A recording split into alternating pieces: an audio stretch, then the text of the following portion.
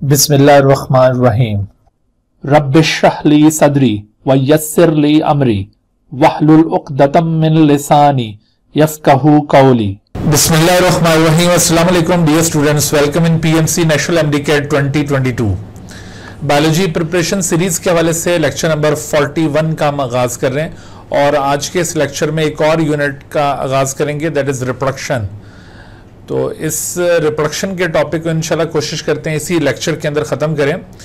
PMC 2022 का जो syllabus उसमें रिप्रोडक्शन के हवाले से जिन कंटेंट्स को इंक्लूड किया हुआ उसमें आप देखिए कि male reproductive system female reproductive system including the menstrual cycle और इसके साथ साथ सेक्सुअली ट्रांसमिटेड डिजीजेज और ये आगे जो इनके लर्निंग ऑब्जेक्टिव्स हैं, ये भी इन्हीं से रेलिवेंट चीज़ें शो कर रहे हैं। तो इनफैक्ट जो फेडरल बोर्ड में, यानी नेशनल बुक फाउंडेशन की जो बुक पढ़ाई जाती है, इसके साथ साथ केपी के और बलूचिस्तान की बुक्स में चैप्टर नंबर ट्वेंटी रिप्रोडक्शन उसके तकरीबन कंटेंट्स इसके अंदर शामिल हैं। और जो पंजाब और सिंध का सिलेबस है, उसमें चैप्टर नंबर एटीन रिप्रोडक्शन तो उसमें कुछ प्लांट्स की रिप्रोडक्शन के टॉपिक्स भी हैं ए सेक्शुअल रिप्रोडक्शन भी है तो वो टॉपिक्स आपने नहीं कवर करने हैं, सिर्फ़ इसमें ह्यूमन रिप्रोडक्शन के ऊपर आपने कन्फाइंड रहना है, सिर्फ़ इन चीज़ों को कवर करना है।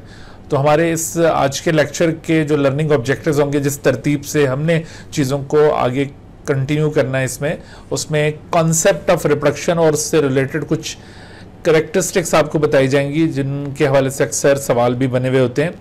और इसके साथ साथ आपको मेल रिप्रोडक्टिव सिस्टम फिर उसके बाद फीमेल रिप्रोडक्टिव सिस्टम और इनका जो हार्मोनल रेगुलेशन है, वो आपको एक्सप्लेन किया जाएगा। और फीमेल रिप्रोडक्टिव साइकिल जिसे मेंस्ट्रुअल साइकिल भी कहा जाता है, और इसके अंदर भी हार्मोनल रेगुलेशन किस तरह से इन्वॉल्व हो रहा है, ये हम डिस्कस करेंगे। और आखिर में फिर जो सेक्सुअली ट्रांसमिटेड डिजीजेज हैं, उनके बारे में थोड़ा सा ब्रीफली डिस्कस किया जाएगा। तो ये हमारे आज के लर्निंग ऑब्जेक्टिव्स होंगे। तो आइए हम लेक्चर का बाकायदा आगाज़ करते हैं। सबसे पहले देखिए जो कॉन्सेप्ट ऑफ़ रिप्रोडक्शन है, वो क्या है? रिप्रोडक्शन एक बहुत ही फंडामेंटल प्रॉपर्टी है लिविंग बींग्स की। This is the ability of an organism to give rise new offspring of its own type her organism के अंदर अल्लाह ताला ने ये सलाहियत रखी है कि वो अपने जैसे न्यू यंग वंस को प्रोड्यूस कर सके। This ability is known as reproduction even viruses के पास जहाँ और लाइफ करेक्टर्स मौजूद नहीं है, लेकिन उनके पास भी ये रिप्रोडक्शन जैसी सलाहियत मौजूद है। अगर जो वहाँ पर हम उसके लिए रेप्लीकेशन टर्म यूज़ कर रहे होते हैं कि वायरस अपने आप को रेप्लीकेट कराए तो दरअसल वो रिप्रोडक्शन ही है। तो रिप्रोडक्शन इस तरह की एक फंडामेंटल प्रॉपर्टी है जो आपको तमाम लिविंग बींग्स में दिखाई देती है। लेकिन रिप्रोडक्शन बाकी लाइफ करेक्टरिस्टिक से मुख्तलिफ़ भी है। इसके अंदर कुछ आपको यूनिकनेस नज़र आएगी। तो रिप्रोडक्शन किस तरह से बाकी लाइफ करेक्टरिस्टिक से मुख्तलिफ़ है? तो अगर आप बाकी लाइफ करेक्टर्स पर नज़र दौड़ाएँ, मिसाल के तौर पर जैसे न्यूट्रिशन है एक्सक्रीशन है, या फिर ये रेस्पायरेशन हो या मेटाबॉलिज्म हो, ये तमाम फंडामेंटल लाइफ करेक्टर्स हैं और अगर किसी ऑर्गेनिज्म की बॉडी से इनको अलग किया जाए तो वो सरवाइव नहीं कर सकेगा। बट रिप्रोडक्शन इन्हीं में से एक करेक्टरिस्टिक है और अगर किसी ऑर्गेनिज्म की लाइफ से रिप्रोडक्शन को निकाल दिया जाए तो इसके बावजूद वो सर्वाइव करता रहता है। तो इसका मतलब है कि unlike unlike other life characteristics reproduction is not required the survival of an organism किसी ऑर्गेनिज्म की सर्वाइवल के लिए इसकी कोई अहमियत नहीं है। दरअसल ये ऑर्गेनिज्म की स्पीशी को बरकरार रखने का एक ज़रिया है। अगर ऑर्गेनिज्म रिप्रोड्यूस नहीं करेंगे तो ऐसी सूरत में उनकी स्पीशी एक्सटेंड कर सकती हैं। It is necessary for the survival of the species but not for the survival of individual जो इंडिविजुअल रिप्रोड्यूस नहीं कर रहा तो उसकी सेहत पे कोई फ़र्क नहीं पड़ रहा, ठीक है? इसी तरह से इसकी आपको एक और यूनिकनेस ये नज़र आती है कि ये जितने भी लाइफ करेक्टर्स आपको दिखाएँ, ये लाइफ करेक्टर्स जैसे ही लाइफ का आगाज़ होता है, यानी एक बेबी बॉर्न होता है या एक इंडिविजुअल जैसी अपनी लाइफ का आगाज़ करता है तो उसके साथ ही उसमें आपको तमाम लाइफ करेक्टर्स नज़र आएँगे। उसमें न्यूट्रिशन भी चाहिए होगी एक्सक्रीशन भी होगा respiration all these life characteristics are found in the body of an organism right from the start of the life लेकिन रिप्रोडक्शन एक ऐसी यूनिक लाइफ करेक्टरिस्टिक है जो शुरू में मौजूद नहीं होती। यानी ऑर्गेनिज्म एक खास स्टेज पर जब पहुँचता है तो तब उसके अंदर ये रिप्रोडक्टिव कैपेसिटी डेवलप होती है। उससे पहले वो रिप्रोड्यूस करने के काबिल नहीं होता। सो so, again unlike other life characteristics reproduction is achieved in adult stage या एक ख़ास पीरियड ऑफ़ टाइम जैसे प्यूबर्टी कहा जा सकता है उसमें यह रिप्रोडक्शन की करेक्टरिस्टिक डेवलप होगी अदरवाइज़ नहीं। सो so, इन दोनों पॉइंट ऑफ़ व्यू से आपने रिप्रोडक्शन को बाकी लाइफ करेक्टरिस्टिक्स से डिस्टिंक्ट रखना है अपने माइंड में कि इसके हवाले से अगर कोई बात पूछी जाए तो आप इसको रिकॉल कर सकें। अच्छा यही जो पॉइंट्स आपको मैंने बताया ना, इनको आप इम्पॉर्टेंस में भी इंक्लूड कर सकते हैं। रिप्रोडक्शन जैसे किसी एमसीक्यू में पूछा जाए कि which of the following shows the importance of the reproduction, या which of the following character does not show the importance of the reproduction तो आपके माइंड में ये करेक्टरिस्टिक्स हों कि ये इंपॉर्टेंस को इंडिकेट कर रही हैं। अच्छा रिप्रोडक्शन में हमने चूँकि यहाँ पर कन्फाइंड रहना है ह्यूमन रिप्रोडक्शन के हवाले से, और ह्यूमन में जो रिप्रोडक्शन पाई जाती है वो सेक्सुअल टाइप की रिप्रोडक्शन है। हालाँकि आप लोग यकीनन जानते हैं कि रिप्रोडक्शन की एक और टाइप ए सेक्शुअल रिप्रोडक्शन भी होती है, जिसमें कोई एक इंडिविजुअल अपने जैसा यंग वन पैदा करने की सलाहियत रखता है। लेकिन आपको ए सेक्शुअल रिप्रोडक्शन एक तरफ़ तो आपको प्लांट्स में ज़्यादा नज़र आएगी, अगरचे कुछ एनिमल्स भी ये मेथड यूज़ करते हैं, लेकिन ज़्यादातर एनिमल्स के अंदर आपको सेक्शुअल रिप्रोडक्शन कॉमनली दिखाई देगी। इवन प्लांट्स में भी ज़्यादा जो कॉमन मेथड ऑफ़ रिप्रोडक्शन है, वो सेक्शुअल ही है। लेकिन प्लांट्स में as compare to animals asexual reproduction भी काफ़ी मौजूद होती है। अच्छा human reproduction which is a kind of sexual reproduction इसमें आप अगर ह्यूमन को सेक्सुअल प्रोडक्शन के पॉइंट ऑफ़ व्यू से देखें, बाकी दूसरे भी बहुत सारे एनिमल्स हैं जो सेक्सुअली रिप्रोड्यूस करते हैं तो उस हवाले से ह्यूमन में आपको कुछ करेक्टरिस्टिक्स नज़र आएँगी। मसलन human is a dioecious species यानी यूनिसेक्सुअल स्पीशी है। यानी मेल और फीमेल सेक्सेस सेपरेट इंडिविजुअल्स में एग्जिस्ट करते हैं।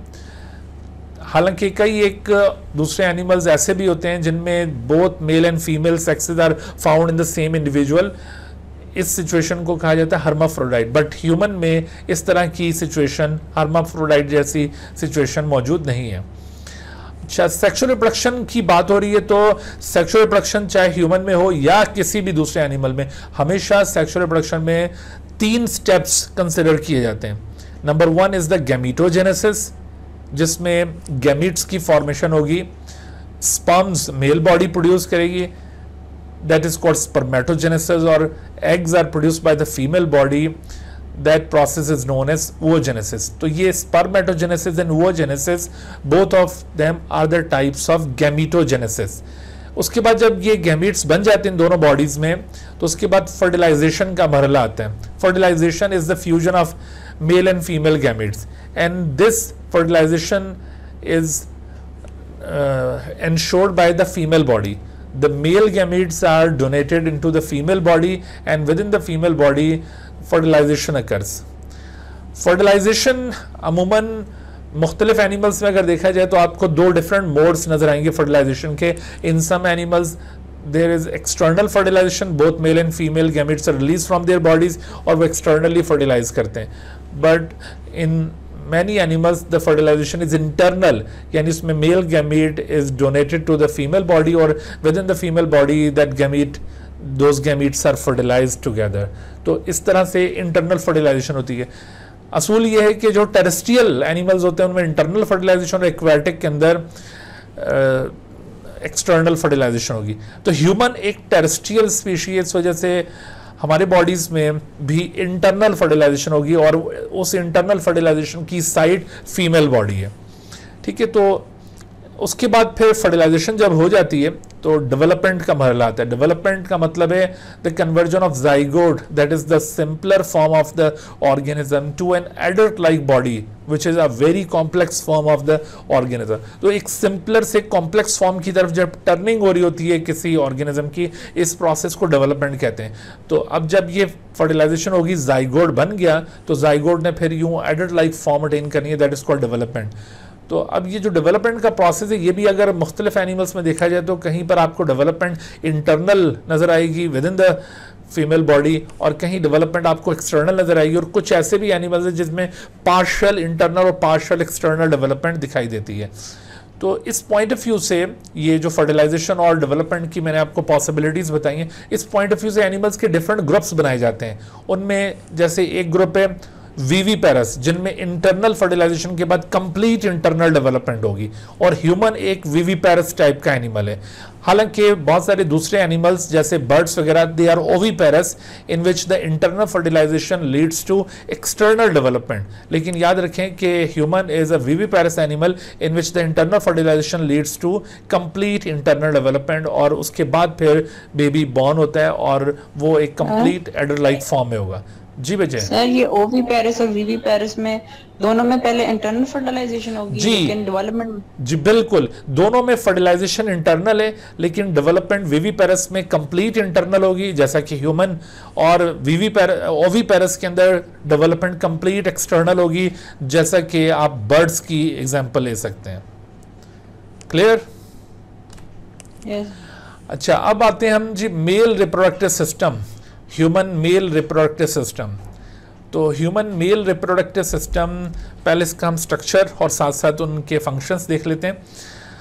Male reproductive system consist of several reproductive organs which are called is main genitalia male genitalia इन्हें कहा जाएगा। This male genitalia consist of a pair of testis also known as gonads इनको male gonads भी कहते हैं। इसके साथ साथ एक्सेसरी डक्ट्स इसमें इंक्लूड होती हैं एक्सेसरी ग्लैंड्स इसमें इंक्लूड होते हैं कपुलेटरी ऑर्गन इसमें इंक्लूडेड है। यहाँ पर अक्सर सवाल बनते होते हैं कि which of the following is the part of male reproductive system या which of the following is the part of female reproductive system तो अभी हम जितना भी ये स्ट्रक्चर इस सिस्टम का डिस्कस कर रहे हैं, उसमें हर एक पार्ट को आपने अच्छी तरह से जहनशीन करना है कि कहीं ऐसा सवाल आए तो आप इजीली उसको पिक कर सकें। और ऐसे सवाल अक्सर बनते हैं यहाँ से। जी तो इसमें आप देखिए कि ये जो पेयर ऑफ़ टेस्टिस हैं पेयर ऑफ़ टेस्टिस यहाँ से हम स्टार्ट लेते हैं। Pair of testis they are situated outside the body in a sac like structure skin का एक पाउच लाइक स्ट्रक्चर बॉडी से बाहर प्रोजेक्टेड होता है दैट इज़ कॉल्ड स्क्रोटम इस स्क्रोटम के अंदर टेस्टिस इनक्लोज होते हैं। तो स्क्रोटम में टेस्टिस को इनक्लोज करने का क्या रीजन है? यानी इनको बॉडी के कैविटी के अंदर, यानी एब्डोमिनल कैविटी में क्यों नहीं रखा गया? इनको एब्डोमिनल कैविटी से बाहर क्यों हैंग किया गया? तो उसका रीजन दरअसल ये है कि स्पम्स की प्रॉपर हेल्थ के लिए ज़रूरी है कि उनका टेम्परेचर थोड़ा सा नॉर्मल बॉडी टेम्परेचर से लेस हो। जैसा कि इनकी नॉर्मल हेल्थ के लिए तकरीबन कोई 35 डिग्री सेंटीग्रेड तक टेम्परेचर रिक्वायर्ड होता है और इस टेम्परेचर को इंश्योर करने के लिए एब्डोमिनल कैविटी से इनको बाहर हैंग किया हुआ है। क्योंकि विद इन द बॉडी जो टेम्परेचर होगा वो 37 डिग्री सेंटीग्रेड होगा। That may become dangerous for the health of the sperms तो इस वजह से ये बॉडी से बाहर हैंग्ड होते हैं। There is a pair of testis और हर एक टेस्टिस को अगर आप क्रॉस uh, सेक्शन के अंदर ये लॉन्गिट्यूडनल सेक्शन के अंदर इस तरह से ऑब्ज़र्व करें लॉन्गिट्यूडनल सेक्शन में तो आपको टेस्टिस का इंटरनल स्ट्रक्चर कुछ इस तरह से दिखाई देता है कि within the testis there are certain chambers. The chambers are called lobules. Approximately 20, 250 to 300 lobules are present in each testis. और हर एक लोब्यूल के अंदर एक हाईली कॉन्वल्यूटेड कॉइल्ड एक ट्यूब लाइक स्ट्रक्चर मौजूद होता है which is known as seminiferous tubule each lobule consist of approximately one two four seminiferous tubule इस तरह से ये one two four seminiferous tubule in each lobule और इस तरह के कोई 250 से 300 लोब्यूल एक टेस्टिस में मौजूद हैं। यानी अगर अंदाज़ा किया जाए कि एक टेस्टिस में कितने सेमिनिफेरस टिब्यूल्स होंगे तो लगभग कोई 1000 के करीब ये सेमिनिफेरस टिब्यूल एक टेस्टिस के अंदर मौजूद होते हैं। सेमिनिफेरस टिब्यूल्स की लेंथ तकरीबन कोई ये 50 सेंटीमीटर के करीब है। Each seminiferous tubule has length सिर्फ़ एक एक में? जी बिल्कुल। लेंथ इज़ अप्रोक्सीमेटली 50 सेंटीमीटर और जबकि हर एक सेमिनिफेरस टिब्यूल का जो डायमीटर है the diameter of each seminiferous tubule is approximately 200 micrometre 200 micrometre diameter रखने वाली ये टिब्यूल्स जो कि 50 सेंटीमीटर लॉन्ग है। 50 सेंटीमीटर कैन यू इमेजिन तकरीबन हाफ़ मीटर बनता ही है और ये हाईली लॉन्ग स्ट्रक्चर होगा। लेकिन ये एक छोटे से टेस्टिस के अंदर किस तरह से इनक्लोज होगा? तो जैसे मैंने अभी आपको बताया कि it is highly convoluted tubule यानी बहुत ज़्यादा क्वाइल्ड टिब्यूल होती है जो इसके अंदर मौजूद है। अच्छा इस को मजीद हम क्रॉस सेक्शन में इन टिब्यूज को ऑब्ज़र्व करें तो क्रॉस सेक्शन में आपको ये सेमिनिफेरस टिब्यूज कुछ इस तरह से दिखाई दे रही हैं। ये आपको क्रॉस सेक्शन दिखाया सेमिनिफेरस टिब्यूज का। The outer membrane of the seminiferous tubule is known as the basement membrane इसे बेसमेंट मेम्ब्रेन कहते हैं और इस बेसमेंट मेम्ब्रेन के इनर साइड पर एक सेलुलर मैस मौजूद है। This cellular mass is called the germinal epithelium इसके इनर साइड पर एक एपिथेलियम मौजूद है known as the germinal epithelium और अंदर से ये टिब्यूल हॉलो है, यानी ल्यूमन बना हुआ इसके अंदर। हॉलो जिसके अंदर स्पम्स बन बन के रिलीज़ हो रहे होंगे। अच्छा इस इस, इन सेमिनिफेरस टिब्यूल्स के दरमियान में आपको जो स्पेस दिखाई दे रही है this space is called interstitial space which is filled by some specialise cells called interstitial cells interstitial cells are very much expert in production and release of the testosterone hormone which is male specific hormone इसकी main site of secretion ये interstitial cells हैं which are present among the seminiferous tubule interstitial cells इनको Leydig cells भी कहा जाता है। याद रखो, ये जो टर्म है, ये इंटस्टिशियल सेल के लिए यूज़ की जाती है। Leydig cells term is also use for the interstitial cells अच्छा इसके अलावा जर्मेनल एपिथिलियम में आपको कुछ तो स्पर्म मदर सेल्स मिलेंगे। Germinal epithelium is the source of sperm mother cell जिनको स्पर्मेटोगोनिया कहा जाता है। इसके साथ साथ germinal epithelial cells also have some nutritive cells called the Sertoli's cells Sertoli's cells से कुछ न्यूट्रिएटिव सिक्रीशंस भी रिलीज़ होती हैं। इसके साथ साथ Sertoli's cells also act as endocrine cell because they also secrete inhibin hormone एक और हार्मोन है inhibin which regulates the sperm production it is also secreted by the Sertoli's cells तो ये दो स्पेसिफिक रोल्स होंगे सर्टोलाइज सेल के। ये जितने भी स्ट्रक्चर्स आप देखते जा रहे हैं, इनके फ़ंक्शन को आपने जहन नशीन करना है। इनके ऊपर क्वेश्चन बनेंगे। अच्छा तो अब आप यहाँ पर मुलाजा करें कि ये जो सेमिनिफेरस टिब्यूज हैं. These are the site of spermatogenesis तो स्पर्मेटोजेनेसिस यहाँ पर कैसे हो रहा है? स्पर्मेटोजेनेसिस कुछ इस तरह से हो रहा है कि germinal epithelial cells they give rise spermatogonia spermatogonia से प्राइमरी साइड और फिर आगे स्पर्म की प्रोडक्शन होती है. इसको हम यहाँ पे डिटेल में देखते हैं. देखो, होता है इस तरह से कि ये जो जर्मिनल एपिथेलियल सेल्स हैं जर्मिनल एपिथेलियल सेल्स वहाँ पर मौजूद हैं कुछ primordial germ cell primordial germ cell these primordial germ cell as a result of mitotic cell division they continuously produce spermatogonial stem cell इनसे मुसलसल स्पर्मेटोगोनियल स्टेम सेल्स प्रोड्यूस हो रहे हैं। ईच स्पर्मेटोगोनियल स्टेम सेल ये मजीद mitotically divide करता है और इससे स्पर्मेटोगोनियम ओरिजिनेट होगा। और दूसरा जो स्पर्मेटोगोनियल स्टेम सेल की डिवीज़न में रिज़ल्ट इसके रिज़ल्ट में जो सेल प्रोड्यूस होगा, इसकी डिवीज़न के रिज़ल्ट में, वो दोबारा से फिर डिवाइड करेगा और इस तरह से ये लाइन मेंटेन रहेगी। अच्छा आप देखो, ये जो स्पर्मेटोगोनियम है, ये अगेन माइटोटिकली डिवाइड करता है और इसमें से प्राइमरी स्पर्मेटोसाइड बनते हैं। तो each spermatogonium divides by mitosis to produce two primary spermatocyte और फिर ये जो प्राइमरी स्पर्मेटोसाइट्स हैं, ये आगे फिर मियोसिस में पार्टिसिपेट करेंगे। यहाँ पर अक्सर सवाल पूछा जाता है कि which of the following cell undergoes meiotic cell division तो वो कौन सा सेल है जो मियोटिक सेल डिवीज़न में दाखिल होगा? वो दरअसल प्राइमरी स्पर्मेटोसाइट है।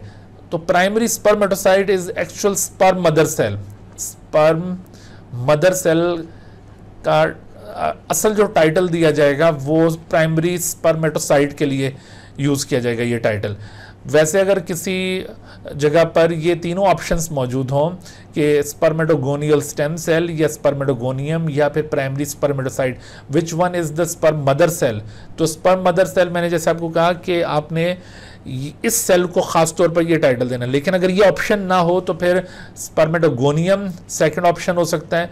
ये भी ना हो तो फिर spermatogonial stem cell can be considered as sperm mother cell और अगर आपसे पूछा जाए कि विच सेल अंडरगोज मियोसिस तो वो फिर यही ऑप्शन आप यूज़ करेंगे। अगर ये ऑप्शन गिवन ना हो प्राइमरी स्पर्मेडोसाइट का तो आप स्पर्मेडोगोनियम या स्पर्मेडोगोनियल स्टेम सेल को कभी ऑप्ट नहीं करेंगे, क्योंकि ये सेल कभी भी मियोसिस के ज़रिए डिवाइड नहीं करते, ये हमेशा माइटोटिकली डिवाइड करते हैं। ओके अब ये जो प्राइमरी स्पर्मेटोसाइट है, ये डिप्लॉयड सेल है। इससे पहले वाले भी सारे डिप्लॉयड सेल्स है। यहाँ पर एक सवाल यूँ भी बनता होता है कि which of the following is a haploid cell और which of the following is diploid cell तो आप ये जर्म लाइन्स के जो सेल्स हैं, इनका क्रोमोजोम नंबर ज़रूर याद रखिए।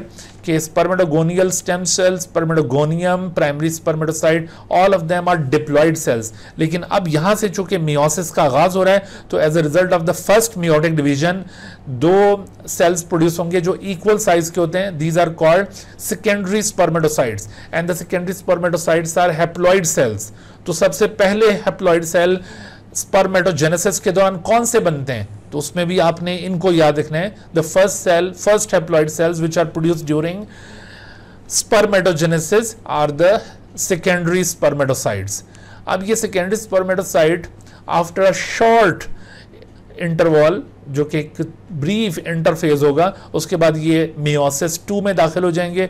यहाँ पर ज़्यादा गैप नहीं आएगा और मियोसिस टू जो कि सेकेंड मियोटिक डिवीज़न कहलाती है, यानी मियोसिस का सेकेंड हाफ़ है ये। इस दौरान each secondary spermatocyte divides to produce again haploid cells these haploid cells are called young sperms या फिर इनको स्पर्माटेड्स कहा जाता है। तो स्पर्माटेड्स या यंग स्पर्म्स ये सारे स्फेरिकल सेल्स होते हैं but after differentiation after gets maturity each of the spermatid is develop into a mature sperm तो मेच्योर स्पर्म में और स्पर्माटेड में फ़र्क ये था कि जो स्पर्माटेड था वो स्फेरिकल सेल था, इसके पास कोई इस तरह से हेड टेल मिड पीस ये डिफ्रेंसिएशन मौजूद नहीं होती है।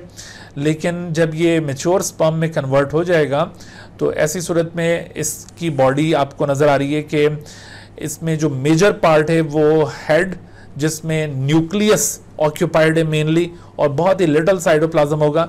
The tip of the sperm consist of enzyme collection known as acrosome यहाँ पर एंजाइम मौजूद होता है जो आगे स्पम को एग के अंदर पेनिट्रेट करने में हेल्प करता है। तो ये दोनों acrosome and nucleus together constitute the head of the sperm उसके बाद जो सेकंड पार्ट आता है वो है mid piece but between mid piece और head there is a small portion of the neck mitochondria ये स्पम के अंदर मौजूद होते हैं और they are mainly distributed in the mid piece region और मिड पीस के बाद फिर आखिर में टेल है which consist of single long flagellum तो this is the structure of the mature human sperm ये स्पम इन इन सेमिनिफेरस टिब्यूल से बन बनकर सेमिनिफेरस टिब्यूल की जो सेंट्रल ल्यूमेन उसमें रिलीज़ होते जाते हैं। जी बेटे? सर ये जो मियोसिस टू है ना तो इसमें ये एन एन फर्दर मतलब जो अभी मियोसिस वन हुआ ना तो वन सेट है ना क्रोमोसोम का तो ये मियोसिस टू में भी वही सेट है? जी बिल्कुल वही है। आप लोगों ने नाइन टेंथ के अंदर मियोसिस और माइटोसिस पढ़ा होगा ठीक है? तो मियोसिस में दो दफ़ा सेल डिवीज़न होती है। एक को कहते हैं फ़र्स्ट मियोटिक डिवीज़न या मियोसिस वन जिसमें क्रोमोसोम नंबर रिड्यूस हो जाते हैं और उसके बाद फिर मियोसिस टू या सेकंड मियोटिक डिवीज़न उनमें जो क्रोमोसोम नंबर रिड्यूस हो चुका होता है वही आगे भी मेंटेन रहता है ठीक है? सर ये जो एक ये जो एक उसमें जो स्पर्मेटोजेनेसिस इसमें आठ स्पर्म्स बनते हैं। नहीं चार बनते हैं ना।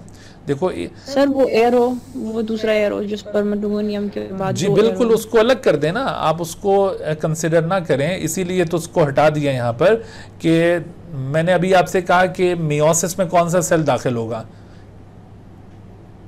प्राइमरी स्पर्मेटोसाइट तो वो प्राइमरी स्पर्मेटोसाइट एक जो मियोसिस में दाखिल हुआ तो उसने कितने प्रोड्यूस किए? चार प्रोड्यूस किए। तो जब भी आपसे पूछा जाए कि एक मियोसिस में या एक स्पर्मेटोजेनेसिस इवेंट में कितने स्पम्स प्रोड्यूस होंगे तो चार आपने कंसिडर करने। आप ये इसको ना लें। ऐसे तो इधर पीछे और चले जाएँ तो ये तो तादाद और बढ़ जाएगी। मेरी बात समझ रहे हैं आप? अगर आप ये इनके पीछे अब इन सेल्स को भी ले लें और इससे पीछे इन सेल को वो तो यूँ अच्छा खासा कलेक्शन बन जाएगा। मिलियंस ऑफ़ सेल्स बन जाएँगे। सो so, बेटे इस तरह से नहीं इसको हम लेंगे। इस कॉन्सेप्ट को हम इस तरह लेंगे कि मियोसिस में जो सेल दाखिल हो रहा है वो है प्राइमरी स्पर्मेटोसाइट और उस एक प्राइमरी स्पर्मेटोसाइट ने मियोसिस कंप्लीट होने पर या स्पर्मेटोजेनेसिस कंप्लीट होने पर कितने स्पर्म्स प्रोड्यूस कर रहे हैं? चार। तो यहाँ पर आंसर चार पिक किया जाएगा। क्लियर जी ईमान फातमा। अस्सलाम वालेकुम सर वालेकुम सलाम। सर इस चैप्टर के लिए हमें सेल डिवीज़न वाला चैप्टर भी पढ़ना होगा। डेफिनेटली आप अगर ये माइटोसिस मियोसिस के कॉन्सेप्ट्स अच्छी तरह ग्रिप में रखें तो ये सिर्फ़ इस चैप्टर के लिए नहीं ओवरऑल भी एम कैट में आपको बड़ा हेल्प करेंगे ये। क्योंकि ये कई जगहों पर माइटोसिस, मियोसिस का ज़िक्र आ रहा होता है और आपको अगर इनके आइडियाज़ नहीं होंगे, इसमें से सवाल नहीं पूछा जाएगा, भाई, माइटोसिस में फला इवेंट कैसे होता है? तो मियोसिस में फला इवेंट कैसे होता है? But for the sake of understanding आपके माइंड में ये सारी चीज़ें होंगी तो आप बाकी टॉपिक्स को भी अच्छा अंडरस्टैंड कर सकते हैं। और सवाल की वर्डिंग को सही तरह से आप एनालाइज कर सकते हैं कि आपसे पूछा क्या जा रहा है। तो ये बैकग्राउंड नॉलेज के तौर पर इन ज़रूर, इन चीज़ों को ज़रूर कवर करें।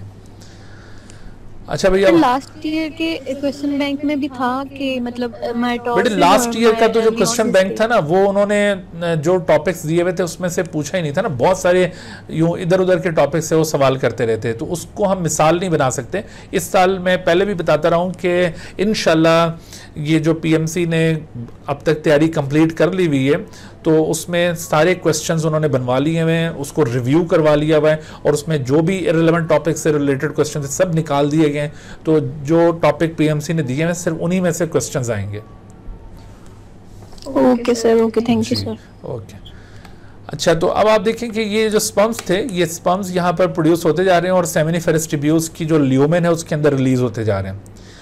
स्पर्मेटोजेनेसिस का ये जो अमल आपको मैंने बताया है दिस प्रोसेस ऑफ़ स्पर्मेटोजेनेसिस ये स्टार्ट होता है प्यूबर्टी पर। यानी एक मेल इंडिविजुअल की लाइफ में एक ख़ास एज आती है दैट इज़ कॉल्ड प्यूबर्टी तो ये प्रोसेस प्यूबर्टी से स्टार्ट होता है and it remains continue throughout the life यानी ऐसा नहीं है कि ये प्रोसेस किसी एक स्टेज पर जाकर रुक जाएगा। जैसे फीमेल रिप्रोडक्टिव सिस्टम में अभी आप देखेंगे कि फीमेल रिप्रोडक्टिव सिस्टम की एक्टिविटी एक स्टेज पर आकर रुक जाती है। लेकिन मेल रिप्रोडक्टिव सिस्टम की activity that is spermatogenesis it starts from puberty और प्यूबर्टी से लेकर प्यूबर्टी कहते हैं when the reproductive system becomes functional मैंने जैसे अभी शुरू में बताया था ना कि रिप्रोडक्टिव सिस्टम चाइल्डहुड के अंदर फंक्शनल नहीं होता।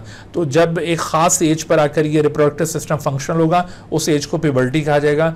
तो स्पर्मेटोजेनेसिस एक मेल की लाइफ में प्यूबर्टी से स्टार्ट होकर ये till the end of the life अब वो एंड ऑफ़ लाइफ चाहे हंड्रेड ईयर्स पर पहुँचे या सिक्सटी ईयर्स पर तो ये एंड ऑफ़ लाइफ तक ये जारी रहता है। सिवाय इसके कि कोई इसमें फिजोलॉजिकल कोई डिसऑर्डर ना आ जाए, कोई कैंसरस या इस तरह की कोई प्रॉब्लम ना आ जाए otherwise this activity remains continue sperms यहाँ पर सेमिनिफेरस टिब्यूल्स में प्रोड्यूस होने के बाद ये यहाँ से निकलते हैं। आप देखिए कि ये आपको टेस्टिस नज़र आ रहे हैं और टेस्टिस में जो इनका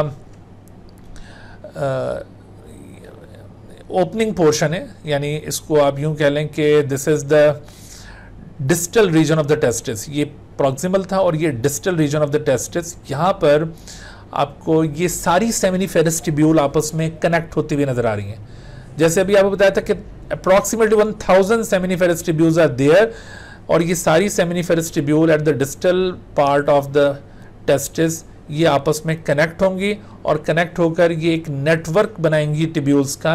That network of tubules is known as rete testis so rete testis ये अभी आप ना इधर सीक्वेंस के ऊपर गौर कीजिएगा कि पहले कौन सा पार्ट है, उसके बाद अब कौन सा आ रहा है, उसके बाद कौन सा आ रहा है, क्योंकि यहाँ पर सीक्वेंस से रिलेटेड क्वेश्चन आते हैं। तो seminiferous tubules leads to the rete testis which is a network of tibules. All the approximately 1000 seminiferous tibules connect with each other and as a result of their interconnection, a network of tubule is formed at the distal part of the testis known as reti testis. Reti testis से ये tubules further converge होती जाती हैं इनमें further यूँ fusion होकर इनका number बहुत कम रह जाता है पहले 1000 था अब इनका नंबर रिड्यूस होकर बहुत कम रह जाएगा और इस तरह से ये बाहर टेस्ट से बाहर प्रोजेक्ट हो जाएँगी। ये जो पोर्शन होता है टिब्यूल्स का, जो रेडी टेस्ट से बाहर अराइज होता है, इसको कहते हैं एफरेंट डक्ट्यूल्स। तो इस तरह से एफरेंट डक्ट्यूल्स ये टेस्ट से बाहर निकलती हैं। और टेस्ट से बाहर निकलकर efferent ductules are transform into epididymis. Epididymis ये एक और टिब्यूलर कलेक्शन है। That forms a cap like part over the testis ये टेस्टिस के इस डिस्टल एंड के ऊपर इस तरह से एक कैप लाइक पोर्शन फॉर्म करता है। और ये जो एपिडिडाइमस है, ये एफरेंट डक्ट्यूल से ओरिजिनेट होगा। तो आप सीक्वेंस के लिहाज से पहले देखिए, सबसे पहले क्या था? सेमिनिफेरस टिब्यूल जहाँ पर स्पॉन्स मौजूद हैं। उसके बाद फिर रेटी टेस्टिस रेटी टेस्टिस के बाद फिर efferent ductules and then the epididymis ये जो एपिडिडाइमस है this is very important part because it act as a store house of the sperm sperms यहाँ कंटिन्यूसली प्रोड्यूस हो रहे होते हैं सेमिनिफेरस फेरेस्टिब्यूल्स में और ये प्रोड्यूस होकर इस पाथवे से गुजर कर एपिडिडाइमस में स्टोर हो रहे होते हैं। और फिर एपिडिडाइमस से जब इनको इजैकुलेट करना होता है। इजैकुलेट करने का मतलब है जब इनको बॉडी से बाहर रिमूव करना है तो उस वक्त ये एपिडिडाइमस से निकलेंगे। एपिडिडाइमस में जितनी भी टिब्यूल्स थी, वो आपस में मजीद फ्यूज होकर एक सिंगल डक्ट में ट्रांसफॉर्म हो जाती हैं। Now this single duct is known as sperm duct या इसको डक्टस डिफरेंस भी कहते हैं या वास डिफरेंस भी कहते हैं। ये तीनों नाम एक ही चीज़ के हैं। ये डक्ट कहाँ से ओरिजिनेट हो रही है? It originates from the epididymis तो एपिडिडाइमस से ये डक्ट ओरिजिनेट होगी और ये डक्ट फिर स्क्रोटम से बॉडी कैविटी में दाखिल हो जाएगी। क्योंकि अब तक ये जितने भी पार्ट्स मैंने बताए, ये सारे स्क्रोटम के अंदर इंक्लोज थे outside the abdominal cavity but sperm duct वो पार्ट होता है जो कि स्क्रोटम से निकलकर ऊपर एब्डोमिनल कैविटी में दाखिल हो जाता है। तो इस पॉइंट को भी याद रखिएगा कि रिप्रोडक्टिव मेल रिप्रोडक्टिव सिस्टम का कौन सा पार्ट है जो स्क्रोटम से निकलकर एब्डोमिनल कैविटी में दाखिल हो रहा है? तो वो दरअसल स्पर्म डक्ट या डक्टस डिफरेंस या वास्ट डिफरेंस है। एब्डोमिनल कैविटी में ईच स्पर्म डक्ट देखो, दो टेस्टिस थे तो ये सारी चीज़ें दो दो मौजूद हैं बॉडी के अंदर। स्पम डक्ट्स भी इसी तरह से दो हैं। अब ये जो स्पम डक्ट्स हैं, ये आकर कनेक्ट होती हैं एक पॉइंट पर और बल्कि ये कन्वर्ट होती हैं ये कनेक्ट होती हैं एक और डक्ट के साथ। That duct is called ejaculatory duct असल में ये जो इजैकुलेटरी डक्ट है, ये प्रोस्टेट ग्लैंड के अंदर से गुजर रही होती है। तो इस प्रोस्टेट ग्लैंड के अंदर ये स्पम डक्ट, जैकुलेटरी डक्ट के साथ कंबाइन हो जाती है। यहाँ पर ये प्रोस्टेट ग्लैंड थोड़ा सा छोटा शो किया हुआ है और ये थोड़ी सी नॉटमी यहाँ पर क्लियर नहीं है। तो एक्चुअली ये प्रोस्टेट ग्लैंड के अंदर ये दाखिल हो जाएगी और प्रोस्टेट ग्लैंड में ही ये दोनों आपस में फ्यूज़ करेंगी। अच्छा at the junction prostate gland के साथ ही सेमिनल वेजिकल मौजूद होता है, जिस जगह पर स्पम डक्ट और इजैकुलेटरी डक्ट फ्यूज करती हैं at the junction of sperm duct and ejaculatory duct there is a gland known as seminal vesicle तो एक ये सेमिनल वेजिकल हो गया, उसके बाद प्रोस्टेट ग्लैंड एक और ग्लैंड यहाँ पर आपको नज़र आ रहा है that is called Cowper's gland जहाँ पर इजैकुलेटरी डक्ट यूरिथ्रा के साथ कंबाइन करती है, उस पॉइंट पर काउपर्स ग्लैंड भी प्रेजेंट होता है। तो urethra urethra originates from the urinary bladder urinary bladder से ये ओरिजिनेट होकर प्रोस्टेट ग्लैंड से गुजरता हुआ ये यूरिथ्रा नीचे उतरता है और इस यूरिथ्रा के साथ इजैकुलेटरी डक्ट कंबाइन करेगी। यूरिथ्रा मेल बॉडी के अंदर वो कंपोनेंट वो पार्ट है जो ना सिर्फ़ एक्सक्रीटरी सिस्टम का पार्ट कंसिडर किया जाता है, बल्कि ये रिप्रोडक्टिव सिस्टम का भी पार्ट है। ठीक है? तो यूरिथ्रा को इसी वजह से मेल बॉडी के अंदर यूरिथ्रा के लिए एक अल्टरनेटिव टर्म भी यूज़ की जाती है यूरिनो जेनिटल डक्ट याद रखो, ये जो टर्म यूरिनो जेनिटल डक्ट आपको बताइए, ये फीमेल बॉडी की यूरिथ्रा के लिए यूज़ नहीं की जाएगी. जैसे आपसे अगर पूछा जाए कि which part is found in both male and female bodies तो उसमें यूरिथ्रा लेकिन which part of reproductive system is found in both male and female bodies तो उसमें आप यूरिथ्रा को पिक नहीं करेंगे। उसकी वजह यह है कि फीमेल बॉडी में urethra is not the part of reproductive system वहाँ पे फीमेल बॉडी के अंदर urethra is just the part of excretory system और यूरिनरी सिस्टम रिप्रोडक्टिव सिस्टम का वो पार्ट नहीं है, ठीक है? लेकिन मेल बॉडी के अंदर ये urinary system as well as reproductive system का पार्ट है। तो इस वजह से ये वैसे पूछा जाए कि कौन सा पार्ट है जो मेल फीमेल दोनों बॉडीज में मौजूद है, फिर तो यूरिथ्रा पिक किया जा सकता है, लेकिन which part of reproductive system is found in both तो वो ऐसा कोई पार्ट नहीं है, उसको, उसमें आप यूरिथ्रा को पिक नहीं करेंगे, ठीक है? अच्छा तो ये जो आपको मैंने सीक्वेंस बताया, इसको आपने जहन नशीन कर लेना है कि इस सीक्वेंस को कहते हैं स्पम पाथवे कि जब ये स्पम इजैकुलेट होते हैं तो which of the following is correct sequence of ducts तो उसमें सेमिनिफेरस टिब्यूल से rete testis then efferent ductules फिर एपिडिडाइमस फिर sperm duct ejaculatory duct and then urinogenital duct ये यहाँ पर सीक्वेंस बन रहा है। अच्छा फिर बीच में ये यहाँ पर कुछ एक्सेसरी ग्लैंड्स इन तीनों को कलेक्टिवली कहते हैं accessory glands seminal vesicle Cowper's gland and prostate gland असल में सेमिनल वेजिकल और प्रोस्टेट ग्लैंड ये कलेक्टिवली एक सीक्रेशन प्रोड्यूस करते हैं which is milky in nature whitish secretion होगी। इसके अंदर न्यूट्रिएंट्स मौजूद होते हैं और फ्लूड मीडियम मौजूद होता है। This secretion is called semen और इसके अंदर स्पम इंक्लूड हो जाते हैं। पहले ये स्पम पीछे यहाँ से ट्रैवल करते हुए आ रहे थे। बाद में इन सीक्रेशंस के साथ कंबाइन होकर ये स्पम सीमेन के ज़रिए फिर बाहर रिमूव होते हैं। लेकिन इस दौरान में जो काउपर्स ग्लैंड है, इसका एक और स्पेसिफिक रोल है। जस्ट बिफोर द इजैकुलेशन ये स्पम इससे पहले कि बॉडी से बाहर रिमूव हो, उससे ज़रा पहले ये काउपर्स ग्लैंड एक्टिवेट होता है and it releases some secretions which are alkaline in nature तो ये सिक्रीशंस क्या करती हैं कि जो यूरिथ्रा के अंदर एसिडिक कंटेंट्स होते हैं यूरिन के, क्योंकि यूरिन भी इसी पाथवे से ट्रेवल करेगा और urine is acidic in nature तो उसकी एसिडिटी यहाँ पर यूरिथ्रा के अंदर स्पम के लिए डेंजरस होती है।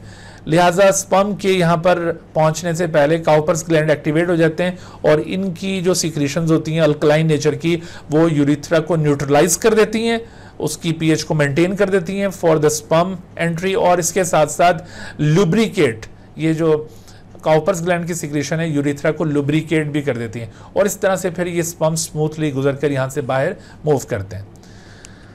अच्छा इस हवाले से देखो, ये एक सवाल आपसे पूछा जा सकता है कि इन मेल मैमल्स या in male human being the excretory and the reproductive systems share तो मैंने जैसे अभी आपको पॉइंट आउट किया वास्ट डिफरेंस था वो या यूरिथ्रा या सेमिनल वेजिकल या प्रोस्टेट तो ये दोनों सिस्टम कौन सा पार्ट है जो शेयर करते हैं?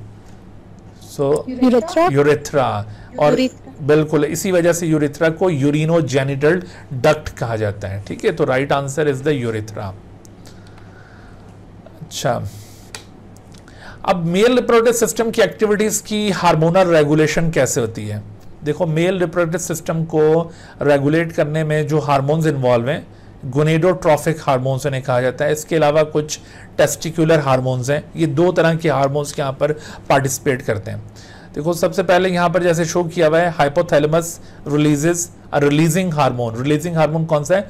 गोनेडोट्रॉफिन रिलीजिंग फैक्टर ये हम केमिकल कोऑर्डिनेशन में भी ये एस्पेक्ट डिस्कस कर चुके हैं। तो फ्रॉम द हाइपोथैलेमस जो जी आर एफ़ सिक्रीट होगा, ये एंटीरियर लोब पिचूटरी को स्टिमुलेट करता है टू रिलीज़ टू हार्मोन्स उनमें से एक हार्मोन हमने पढ़ा था एफएसएच और दूसरे हार्मोन को आईसीएसएच कहा जाता है। अच्छा जो एफ़ हारमोन है एफ़ हारमोन इसका रोल क्या है? Release from anterior pituitary and it F S H it influence upon the seminiferous tubule to produce sperms यानी spermatogenesis is controlled by FSH ये जो अभी हम पूरा प्रोसेस देख रहे थे ना कि जर्मिनल एपिथेलियम से वो स्पम स्पर्मेडोगोनियल सेल राइज हो रहे थे स्पर्मेडोगोनियल सेल से फिर आगे माइटोटिक डिवीज़न के ज़रिए प्राइमरी स्पर्मेटोसाइट और इस तरह से स्पम्स की प्रोडक्शन हो रही थी। सो so, ये सारी जो एक्टिविटीज़ हैं स्पम प्रोडक्शन से रिलेटेड स्पर्मेटोजेनेसिस से रिलेटेड ये एफएसएच कंट्रोल कर रहा है।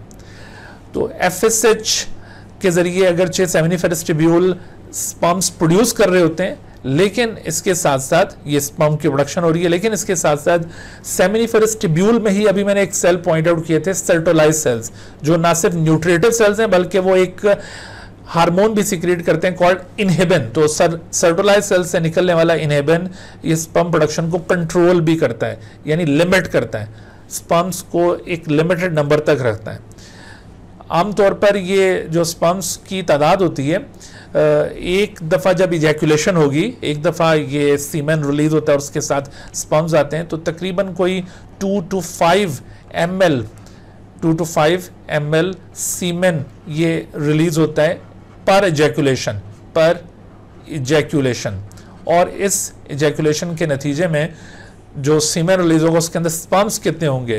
तो स्पम्स की तादाद होती है तकरीबन 20 to 150 million 20 to 150 million per M तो आप अंदाज़ा करें कि two to five M L semen will be release and each M L of the semen contains approximately twenty to one fifty million तो ये जो अपर लिमिट आप देख रहे थे it is actually maintained by the inhibin और lower limit is actually maintain by the F ठीक है? एफ़ ने प्रोड्यूस करवाना था, उसको लोअर लिमिट से ज़्यादा ज़ाहिर इसने प्रोड्यूस करवाना है।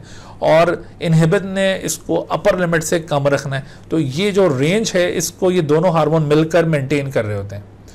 और इन हार्मोन्स की इम्बैलेंस की वजह से ये स्पम्स का जो नंबर है, वो अफेक्ट हो सकता है। अगर किसी शख्स में 20 मिलियन पर एमएल से स्पम काउंट कम हो जाए that is known as oligospermia oligospermia एक स्टेट होती है। अभी आगे आपको ये कुछ रिप्रोडक्टिव डिसऑर्डर में इनको पॉइंट आउट करेंगे।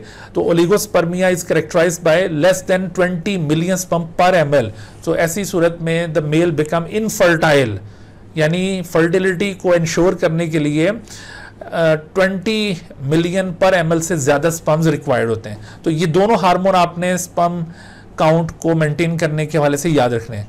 अच्छा इसके अलावा आप देखिए इंटीरियर पिचोट्री से एक और हार्मोन रिलीज़ होता है that is ICSH female body में इसको एलएच कहते हैं। ये हार्मोन इंटस्टिशियल सेल्स को स्टिमुलेट करता है और वहाँ से फिर ये टेस्टोस्टिरोन की प्रोडक्शन होगी। टेस्टोस्टिरोन जो इंटस्टिशियल सेल्स या लेडिक सेल्स से प्रोड्यूस होता है, ये ओवरऑल जो मेल रिप्रोडक्टिव सिस्टम की करेक्टरिस्टिक्स हैं सेक्स ड्राइव और ओवरऑल uh, जो सेकेंडरी मेल करेक्टरिस्टिक्स हैं उन सबको ये कंट्रोल कर रहा होता है। But this testosterone has also influence upon the interior pituitary और हाइपोथैलेमस इनके ऊपर ये नेगेटिव फीडबैक शो करता है। यानी it also involve in the control of spermatogenesis इस पूरे इवेंट को कंट्रोल करने में टेस्टोस्टेरोन का भी इंपॉर्टेंट रोल है। सो so, ये हार्मोनल रेगुलेशन आपने मेल रिप्रोडक्टिव सिस्टम की याद रखनी है। जी, अब आइए फीमेल रिप्रोडक्टिव सिस्टम की तरफ़। फीमेल रिप्रोडक्टिव सिस्टम इसमें भी मेल रिप्रोडक्टिव सिस्टम की तरह जेनिटेलिया मौजूद हैं, यानी रिप्रोडक्टिव ऑर्गन्स मौजूद हैं। Female genitalia includes a pair of ovaries जिनको फीमेल गोनेड्स भी कहा जाता है। इसके अलावा अ पेयर ऑफ़ ओवीडक्ट्स यहाँ पर मौजूद हैं, जिनको फेलोपिन ट्यूब्स भी कहते हैं। यूट्रस प्रेजेंट है सर्विक्स है, और इसके अलावा एक्सटर्नल बर्थ कैनाल मौजूद हैं। ये सारे फीमेल जेनिटेलिया कहलाते हैं। तो जैसे मैंने अभी आपको पहले पॉइंट आउट किया था आपने ये याद रखना है कि which of the following is found in the female reproductive system या मेल रिप्रोडक्टिव सिस्टम यहाँ से भी वो सवाल पूछे जा सकते हैं। अच्छा इसमें आ, सबसे पहले हम यहाँ पर डिस्कस करते हैं ओवरी से। तो ओवरी को अगर आप देखें ovary ovaries are attach with the lateral walls of uterus center के अंदर यूट्रस है और यूट्रस की लेटर वॉल्स के साथ ओवरीज अटैच्ड हैं by means of infundibulum infundibulum एक स्टॉक है by which the ovaries are connected with the lateral walls of uterus आपको याद होगा इनफंडिब्यूलम हमने केमिकल कोऑर्डिनेशन में पिचोट्री ग्लैंड के साथ भी इसको ऑब्ज़र्व किया था कि pituitary gland is connected with hypothalamus by means of infundibulum infundibulum का मतलब ही होता है स्टॉक तो ये भी एक किस्म का स्टॉक है। तो ovaries are connected with lateral walls of uterus by means of infundibulum ये आपने लोकेशन याद रखनी है कि ओवरीज यूट्रस की कौन सी साइड पर मौजूद हैं? क्या वेंट्रल साइड पर मौजूद हैं या डॉर्सल साइड पर या लेटरल साइड पर? So actually ovaries are present at the lateral side of the uterus ovary ovary का ये जो आपको डिस्टल एंड नज़र आ रहा है this end is called the proximal end of the ovary ये प्रोक्सिमल है और इसके मुकाबले में distal end of the ovary वो इस साइड पर आपको नज़र आया दिस इज़ डिस्टल एंड तो ओवरी का जो डिस्टल एंड है, इस डिस्टल एंड के साथ आपको एक फनल शेप स्ट्रक्चर दिखाई दे रहा है। फनल यानी थोड़ा सा यूँ ब्रॉड पोर्शन जहाँ पर इस फनल शेप स्ट्रक्चर के मार्जिन के ऊपर कुछ हेयर लाइक स्ट्रक्चर्स हैं, जिनको फिम्बरी कहा जाता है। ठीक है तो ये फिम्बरी पर मुश्तमिल फनल शेप स्ट्रक्चर ये दरअसल फेलोपिन ट्यूब की ओपनिंग है। फिम्बरी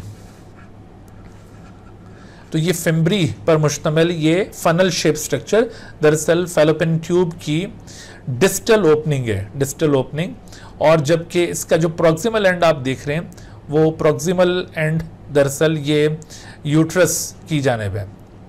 ओके अच्छा तो ये, ये आप इसके साथ फनल शेप स्ट्रक्चर के साथ ओवीडक्ट देख रहे हैं। ओवीडक्ट यहाँ से ओरिजिनेट होकर उसके बाद फिर ये कनेक्ट हो रही होती है यूट्रस के साथ। सॉरी इसको इसको प्रॉक्सिमल एंड कहेंगे। This is the proximal end of proximal end of the oviduct ये ओवीडक्ट का प्रॉक्सिमल एंड है और जबकि ये इस ओवरी का डिस्टल एंड था, ठीक है? ये इसका प्रॉक्सिमल एंड। और उसके बाद फिर ये जो एंड, इसके साथ आकर कनेक्ट हो रहा है this is it's the distal end ये इसका डिस्टल एंड है। उसकी वजह यह है कि असल में देखो एग ने यहाँ से रिलीज़ होकर इस तरफ़ का मूव करना है तो ये पहले यहाँ पर दाखिल हुआ। दिस इज़ प्रॉक्सिमल एंड और उसके बाद फिर ये मूव करता हुआ यूट्रस में जाकर खुलेगा। अच्छा ओवीडक्ट के साथ फिर ये सेंटर में यूट्रस आ जाता है। Uterus has three layers in its wall outer most layer is called perimetrium which is made up of connective tissues उसके अंदर की तरफ़ मायोमेट्रियम मौजूद है which is a muscular layer और उसके भी इनर साइड पर एक और लेयर है which is called vascular layer या एंडोमेट्रियम एंडोमेट्रियम ये आर्जी लेयर होती है during the menstrual cycle develop कर रही होती है but if pregnancy has not been develop तो ये सारी एंडोमेट्रियल लाइनिंग यहाँ से शेड हो जाएगी लेकिन मायोमेट्रियम और perimetrium are the persistent layers ये परमानेंट लेयर्स हैं यूट्रस की यूट्रस में तीन पोर्शंस आपको दिखाई देंगे the top portion the superior part of the uterus is called the fundus ये superior part fundus the central part of the uterus is called the body of the uterus and the lower most part या inferior portion of the uterus या इसको opening of the uterus भी कहते हैं this is called cervix तो ये तीन हिस्से होंगे यूट्रस के। और फिर cervix is open into the external birth canal अच्छा ovary which are the sites of egg formation उनको अगर हम इंटरनल स्ट्रक्चर में देखें तो यहाँ पर आपको दिखाई देगा कि ओवरी की जो आउटर कवरिंग होती है this outer covering is also known as basement membrane just like the outer covering of the seminiferous tubule इसे बेसमेंट मेम्ब्रेन कहा जाता है। इस बेसमेंट मेम्ब्रेन के इनर साइड पर भी यूँ इसी तरह जर्मिनल एपिथेलियल सेल्स प्रेजेंट होते हैं। स्पेशली ओवरी का वो एंड जो इनफंडिबुलम की तरफ़ है, वहाँ पर ये जर्मिनल एपिथेलियल सेल मैस मौजूद है। तो इस जर्मिनल एपिथेलियल सेल मैस से वो गोनिया ओरिजिनेट होंगे और वो वो गोनिया फिर आगे चलकर प्राइमरी ओसाइड बनेंगे और उनसे फिर आगे वो जेनेसिस का प्रोसेस परफॉर्म होगा। एक्चुअली यहाँ पर होता है ये ओजेनेसिस ओवरी के अंदर किस तरह से परफॉर्म होगा?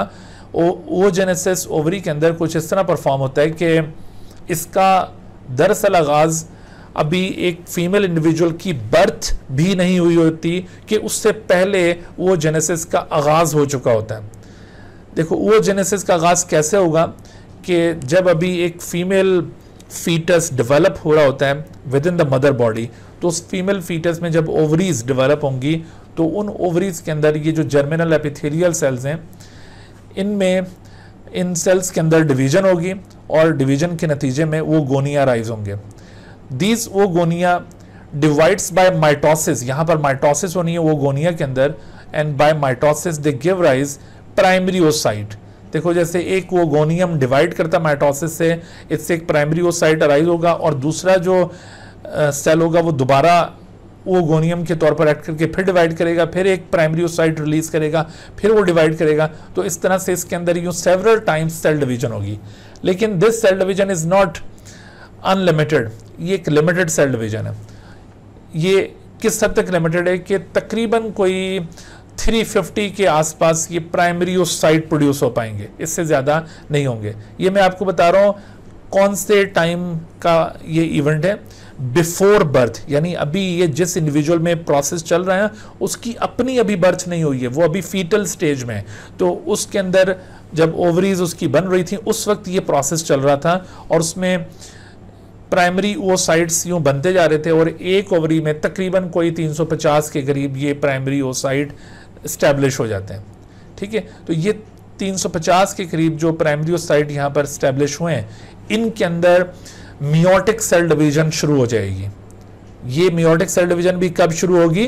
Before birth. यहाँ पर जरा पॉइंट्स बड़े गौर से आपने सुनने कि बिफोर बर्थ ये मियोटिक सेल डिवीज़न इनिशिएट हो जाएगी। Each primary oocyte oocyte undergoes meiotic cell division जो कि तो, टोटल तकरीबन कोई 350 के करीब है। हर एक के अंदर मियोटिक सेल डिवीज़न स्टार्ट होगी। लेकिन मियोटिक सेल डिवीज़न का जो सबसे पहला फ़ेज़ होता है that is called prophase one तो उस प्रो फ़ेज़ वन की पैकेटीन स्टेज के अंदर प्रो फ़ेज़ वन में फर्दर फाइव सब स्टेजेस होती हैं उसमें एक स्टेज आती है पैकेटीन। तो पैकेटीन स्टेज के दौरान ये प्राइमरी ओसाइड अरेस्ट हो जाएगा प्रोफेज वन में।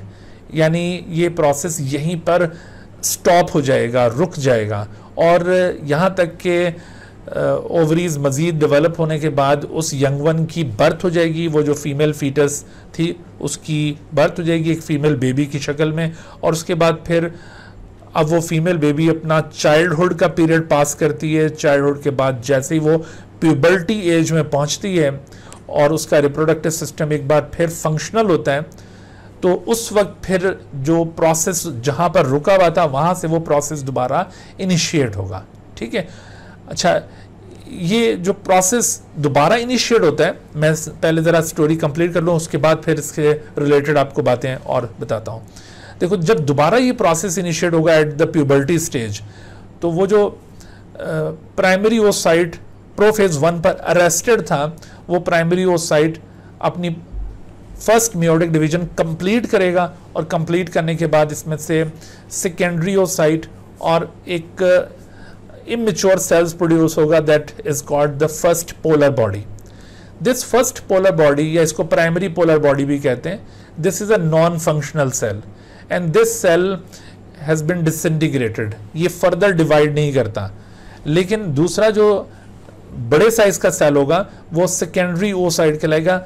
It further undergoes the second meiotic division लेकिन सेकेंड म्यूटिक डिवीज़न में ये दाखिल तो हो जाता है but it is arrested at the metaphase two second meiotic division में भी एक फ़ेज़ आएगा मेटाफेज तो ये मेटाफेज टू पर आकर इसकी सेकेंड म्यूटिक डिवीज़न रुक जाती है, ये सेकेंडरी वो साइट ही रहता है, ये फर्दर आगे डिवाइड नहीं कर पाता। यहाँ तक कि इस स्टेज पर ओव्यूलेशन हो जाती है, यानी ये चीज़ रिलीज़ हो जाती है। असल में ये सारा जो कुछ हो रहा था ये कुछ प्रोटेक्टिव कवरिंग्स के अंदर हो रहा था। देखो जो मेल बॉडी के अंदर हमने स्पर्मेटोजेनेसिस पढ़ा था ना स्पर्मेटोजेनेसिस में जो सेल्स डिवाइड कर रहे होते हैं बाय मियोसिस वो किसी प्रोटेक्टिव कवरिंग के अंदर इनक्लोज नहीं होते। But these primary oocytes are actually enclose in protective coverings which are called follicles तो इनिशियली देखो, ये प्राइमोडियल फॉलिकल्स थे जिनके अंदर ये वो गोनियाँ थे। प्राइमोडियल फॉलिकल्स थे, ये बर्थ तक प्राइमोडियल फॉलिकल रहते हैं। उसके बाद जब प्रोसेस यहाँ पर अरेस्ट हो गया था तो ये प्राइमोडियल फॉलिकल्स थे। अब उसके बाद जब बर्थ हो गई यंग वन की, और वो अपने चाइल्डहुड को पास करती है वो इंडिविजुअल और अपनी प्यूबर्टी एज पर जब वो पहुँचती है तो उस वक्त अब उसकी बॉडी में मौजूद ओवरी में वो जो प्राइमोडियल फॉलिकल्स थे, अब वो बन चुके हैं प्राइमरी फॉलिकल्स यानी प्राइमोडियल फॉलिकल जब रिलीज़ हो जाते हैं ना, या जब एक्टिवेट हो जाते हैं तो उनको कहा जाता है प्राइमरी फॉलिकल्स अभी मैं आपको ये प्राइमरी फॉलिकल्स के मुतालिक और डिटेल से आगे मेंस्ट्रुअल साइकिल के अंदर एक्सप्लेन करूँगा। तो देखो, ये जो प्राइमरी फॉलिकल्स हैं, इनके अंदर फिर ये फर्दर प्रोसेस परफॉर्म हो रहा होता है। तो प्राइमरी फॉलिकल ग्रेजुअली ये ग्रो करते जाते हैं।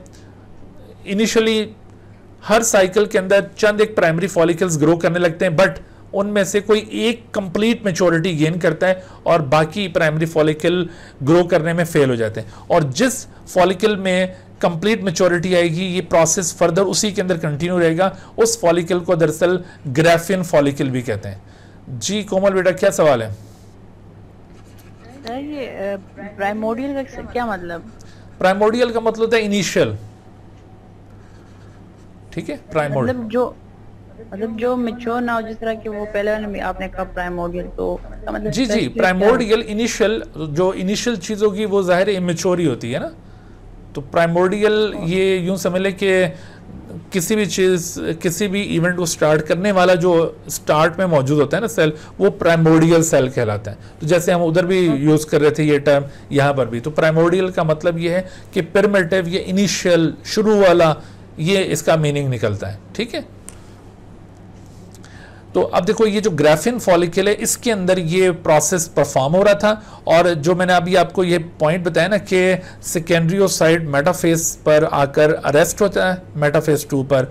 और उस वक्त जो ग्राफिन फॉलिकल फुली मेच्योर हो चुका होता है ओवरी के अंदर और ये रप्चर हो जाएगा। और रप्चर होने पर फिर ये सेकेंडरी ओसाइड जिसको हम इमेच्योर ओवम कहते हैं, ये रिलीज़ हो जाते हैं। This event is known as ovulation तो यूँ ओव्यूलेशन जब हो जाएगी तो अब ओव्यूलेशन के बाद स्पर्म अगर ट्रैक्ट के अंदर मौजूद हो और वो इस सेकेंडरी ओसाइड के साथ कांटेक्ट करे, इसके साथ फर्टिलाइजेशन परफॉर्म करने लगे तो स्पर्म से कुछ सिग्नल्स ट्रांसमिट होते हैं जो इस अरेस्ट को रिलीज़ करते हैं। यानी ये जो मेटाफेस टू के ऊपर मियोटिक सेल डिवीज़न अरेस्ट हुई हुई थी सेकेंडरी साइट में, वो अरेस्ट ख़त्म हो जाएगा और मियोटिक सेल डिवीज़न कंटिन्यू हो जाएगी। इस तरह से मियोटिक सेल डिवीज़न कंटिन्यू होने के बाद वो जो सेकेंडरी साइट था it will give rise egg या ओवम और इसके साथ साथ एक और पोलर बॉडी बनेगी that is second polar body तो second polar body again non functional cell है, ये भी डिसइंटीग्रेट हो जाएगा,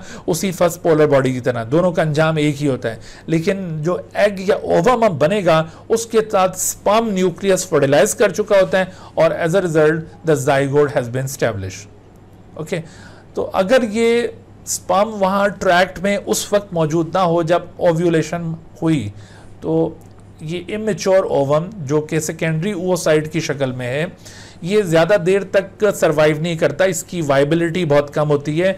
ये कोई 24 टू 48 आवर्स तक ज़िंदा रहेगा और ऐसा आहिस्ता फेलोपिन ट्यूब में मूव करता हुआ आगे जाता है और आखिरकार ये डिसइंटीग्रेट हो जाता है। लेकिन अगर इस दौरान में स्पम अवेलेबल हो तो इसकी फर्दर फेट क्या होगी कि secondary oocyte will give rise ovum और egg as well as the second polar body और फिर एग के साथ फिर फर्टिलाइजेशन होनी है। यानी जब एग बनेगा तो उसने फिर फर्टिलाइजेशन में हिस्सा लेना ही लेना है। अदरवाइज़ एग ने बनना ही कोई नहीं है। बात समझ में आ रही है?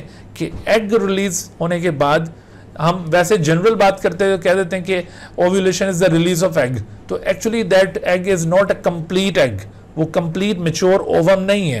वो दरअसल एक इमेच्योर ओवम है। जब कंप्लीट ओवम बनेगा तो उसने फिर फर्टिलाइजेशन में हिस्सा लेना ही लेना है, क्योंकि उस वक्त स्पम दाखिल हो चुका होता है और उसने फिर उसको फर्टिलाइज करना होता है। ओके अब ये सारा कुछ कहाँ हो रहा था? ये ओवरी के अंदर हो रहा था। यहाँ पर आप देखिए कि ये प्राइमोडियल फॉलिकल से प्राइमरी फॉलिकल अराइज हुए और प्राइमरी फॉलिकल में से कोई एक प्राइमरी फॉलिकल पूरी तरह मेच्योरिटी गेन करता जा रहा है। Now it is called Graafian follicle और इस ग्राफियन फॉलिकल के अंदर जो प्राइमरी वो साइड था, वो सेकेंडरी ओ साइड में तब्दील हुआ और सेकेंडरी ओ साइड फिर यहाँ से रिलीज़ हो जाता है। अब आप देखो, जब ये ओव्यूलेशन हुई है तो ओव्यूलेशन के नतीजे में ये जो स्ट्रक्चर रिलीज़ हो रहा है this is actually the secondary oocyte which is arrested in the metaphase two और इसके साथ साथ कुछ फॉलिकुलर सेल मैस भी रिलीज़ हुआ है। उस फॉलिकुलर सेल मैस में जैसे आपको जोना पेलुसिडा जो कि एक फ्लूड फ़ील्ड मीडियम है इसके गिर्द और क्रोना रेडिएटा जो कि एक फॉलिकुलर सेल मैस है actually both of them are responsible for the fertilization क्योंकि जो स्पम आ रहा होता है यहाँ से ओविडक्ट से, वो स्पम इन्हीं रीजन्स की मदद से सिग्नल अंदर ट्रांसमिट करता है और अपना न्यूक्लियस अंदर सेंड करता है और फिर वो फर्टिलाइजेशन कंप्लीट होती है। So actually this two structure help in the fertilization जी तो ये सारी एक्टिविटीज़ फीमेल रिप्रोडक्टिव सिस्टम में होती हैं। अच्छा फीमेल रिप्रोडक्टिव सिस्टम में ये जो एक्टिविटीज़ आपने मुलायजा की these activities are not continuous activities these activities are cyclic activities ये साइक्लिक एक्टिविटीज़ होती हैं और इनकी रेपिटेशन को कहते हैं reproductive cycle the sequence of different activities in the female reproductive system is called the menstrual cycle या female reproductive cycle और इस फीमेल रिप्रोडक्टिव साइकिल का ऑनसेट यानी स्टार्ट प्यूबर्टी एज में आकर होता है। The start of this female reproductive cycle is called menarche जो कि प्यूबर्टी इस एज में आकर होगा। This start of the female reproductive cycle और the onset of the female reproductive cycle is called menarche और उसके बाद फिर ये cycle with the interval of 28 days ये साइकिल कंटिन्यू रहती है और ये साइकिल फिर ये स्टॉप होगी। बीच में आखिर में आकर ये बार बार स्टॉप और बार बार दोबारा से ये शुरू हो जाती है, लेकिन इसका कंप्लीट स्टॉप जब हो जाता है और दोबारा फिर ये परफॉर्म नहीं हो पाएगी ये cycle, that complete stop is achieved in the late 40s or early 50s this complete stop of the female reproductive cycle is called the menopause yani female reproductive system remain functional from menarche to the menopause लेकिन the male reproductive system आपने देखा उसमें आपने note किया था कि वो puberty से स्टार्ट होकर till the end of the life जारी रहता है तो इसकी बड़ी वजह यह है कि असल में ह्यूमन रिप्रोडक्शन के अंदर फीमेल रिप्रोडक्टिव सिस्टम का कंट्रीब्यूशन ज़्यादा है वो कंट्रीब्यूशन कैसे ज़्यादा है कि जैसे फीमेल रिप्रोडक्टिव सिस्टम वो जेनेसिस के ज़रिए ह्यूमन रिप्रोडक्शन में पार्टिसिपेट कर रहा है। फीमेल रिप्रोडक्टिव सिस्टम ये फर्टिलाइजेशन की साइट भी है, यहाँ पर फर्टिलाइजेशन भी होनी है। And the female reproductive system also contributes in the development of the young one तो इन तमाम इवेंट्स में पार्टिसिपेट करने के लिए बॉडी की मुकम्मल हेल्थ और बॉडी का प्रॉपर फिट होना इंतहाई ज़रूरी है। लिहाजा जैसे जैसे एज बढ़ती है फीमेल की और एजिंग इफ़ेक्ट बॉडी के दीगर सिस्टम्स के ऊपर आ रहा होता है तो उसकी वजह से फिर फीमेल के अंदर ये कैपेसिटी नहीं रहती कि वो किसी प्रेगनेंसी को होल्ड कर सके। यही वजह है कि जैसे जैसे ये बाकी सिस्टम डिटीरियोरेट होते हैं due to the effect of the ageing तो उसमें फिर रिप्रोडक्टिव सिस्टम की एक्टिविटीज़ को भी स्टॉप करना ज़रूरी है। अदरवाइज़ अगर ये इसी तरह से जैसे मेल रिप्रोडक्टिव सिस्टम कंटिन्यू रहता है, ये भी कंटिन्यू रहता तो ये लेट एज के अंदर अगर प्रेगनेंसी स्टैब्लिश होती तो ज़्यादा कॉम्प्लिकेशन होनी थी। ठीक है? तो इस वजह से ये सिस्टम एक एज पर आकर स्टॉप हो जाता है। अच्छा अब इस female reproductive system female reproductive cycle के जो इवेंट्स हैं और उसकी रेगुलेशन कैसे हो रही है? देखो फीमेल रिप्रोडक्टिव साइकिल को हमने डिफाइन किया। This is the sequence of activities that repeat at regular interval during the female reproductive system तो इसमें स्टार्ट मैंने आपको बताया मीनारकी से लेकर और मीनोपास तक। बेसिकली ये साइकिल uh, एक ल्यूनर रिदम है ल्यूनर रिदम ये किस्म का बायोलॉजी का रिदम है। और ल्यूनर रिदम क्यों कह रहे हैं इसको? क्योंकि ये मंथली रिदम है। हाँ तकरीबन एक मंथ या जैसे जो चाँद की तारीख होती है, यानी ल्यूनर मंथ तो उसके लिहाज से ये चल रहा होता है। इस वजह से इसको ल्यूनर रिदम कहा जाता है। ड्यूरेशन इसका वेरी कर सकता है। ये आइडियल ड्यूरेशन आपको बताया।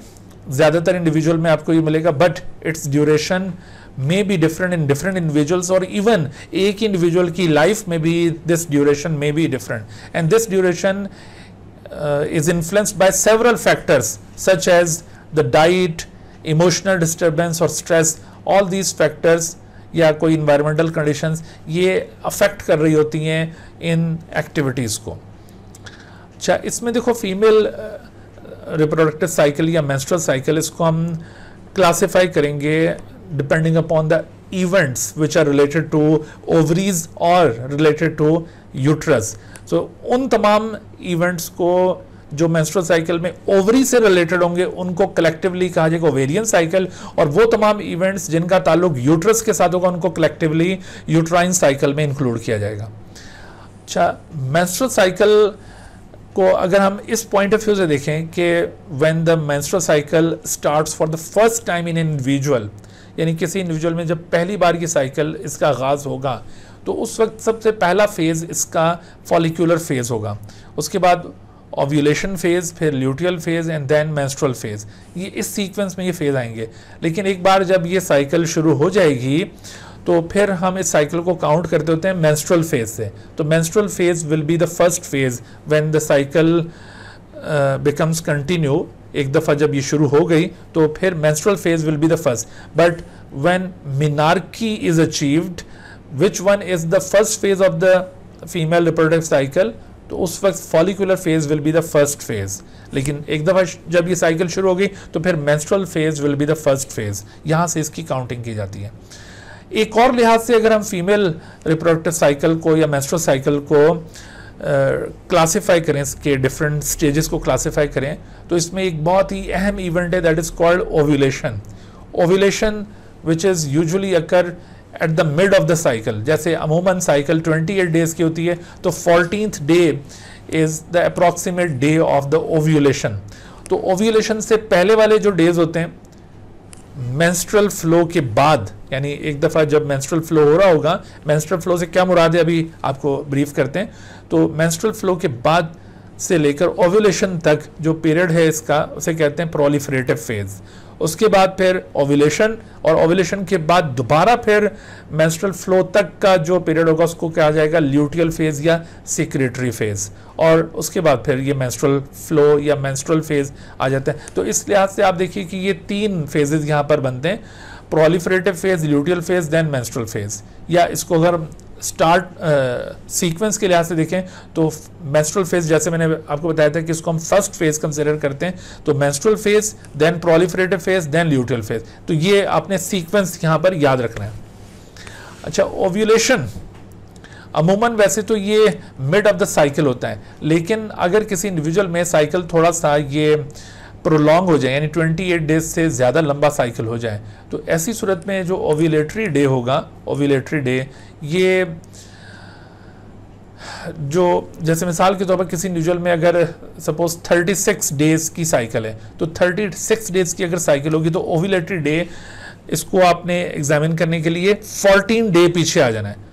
14 डे फ्रॉम द 36 तो 36 से 14 माइनस करेंगे तो that day will be consider as ovulatory day लेकिन अगर ये साइकिल आइडियल है फॉर 28 डेज़ की है तो ऑब्वियसली फिर फोर्टीन डे या mid of the cycle will be the ovulatory day अच्छा अब इसमें देखो, ये जो फेजेस का मैंने ज़िक्र किया ना, इसको उसी सीक्वेंस में हम एड्रेस करते हैं, जो अभी मैंने पॉइंट आउट किया था कि अगर ये साइकिल पहली बार किसी इंडिविजुअल में शुरू होती है तो किस तरह से इवेंट्स परफॉर्म होंगे। तो पहला फ़ेज़ इसमें उस वक्त फॉलिकुलर फ़ेज़ होता है।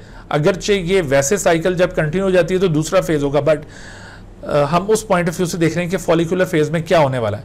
तो फॉलिकुलर फ़ेज़ इसमें फॉलिकुलर फ़ेज़ में देखो क्या होगा कि stimulate more than one primary follicle पहले वो प्राइमोडियल फॉलिकल्स होते हैं और उसमें से प्राइमरी फॉलिकल्स स्टिमुलेट होना शुरू हो जाते हैं। ये इवेंट असल में एफएसएच कंट्रोल कर रहा है। हम साथ साथ अब हार्मोनल रेगुलेशन की बात करते जाएँगे। यहाँ पर ये जितने भी हार्मोन्स का ज़िक्र किया है they are very much important तो एफएसएच हार्मोन ये प्राइमरी फॉलिकल्स को स्टिमुलेट करेगा। तकरीबन कोई तीन से पाँच प्राइमरी फॉलिकल्स हर साइकिल में एक्टिवेट हो जाते हैं। दो ओवरीज अभी मैंने आपको पॉइंट आउट की थी, लेकिन फीमेल रिप्रोडक्टिव सिस्टम में दोनों ओवरीज एक साथ काम नहीं करती हैं। नॉर्मली अल्टरनेटिवली इन दोनों ओवरीज के अंदर ये एक्टिविटीज़ परफॉर्म होंगी। एक साइकिल में एक ओवरी और दूसरी साइकिल में दूसरी ओवरी के अंदर ये तमाम इवेंट्स परफॉर्म होंगे। तो एफएसएच भी इसी तरह से दोनों में से किसी एक के ऊपर इन्फ्लुएंस कर रहा होता है। बाज तो रियरली ऐसा हो जाता है कि दोनों ovaries at a time functional हो जाएँ बट वो एबनॉर्मल कंडीशन है। नॉर्मली एफएसएच दोनों में से किसी एक ओवरी के अंदर three to five primary follicles को स्टिमुलेट करेगा from the primordial follicle some of the follicles are release and they become the primary follicle अच्छा उसके बाद फिर ये क्या करता है promote only one follicle to be mature that is called Graafian follicle और फिर उसी ग्राफिन फॉलिकल के अंदर ये स्पर्मेटोजेनेसिस परफॉर्म करवाता है, लेकिन जो बाकी की प्राइमरी फॉलिकल्स होती हैं दे आर डिसइंटीग्रेटेड उनको फर्दर मेच्योर नहीं होने दिया जाता है।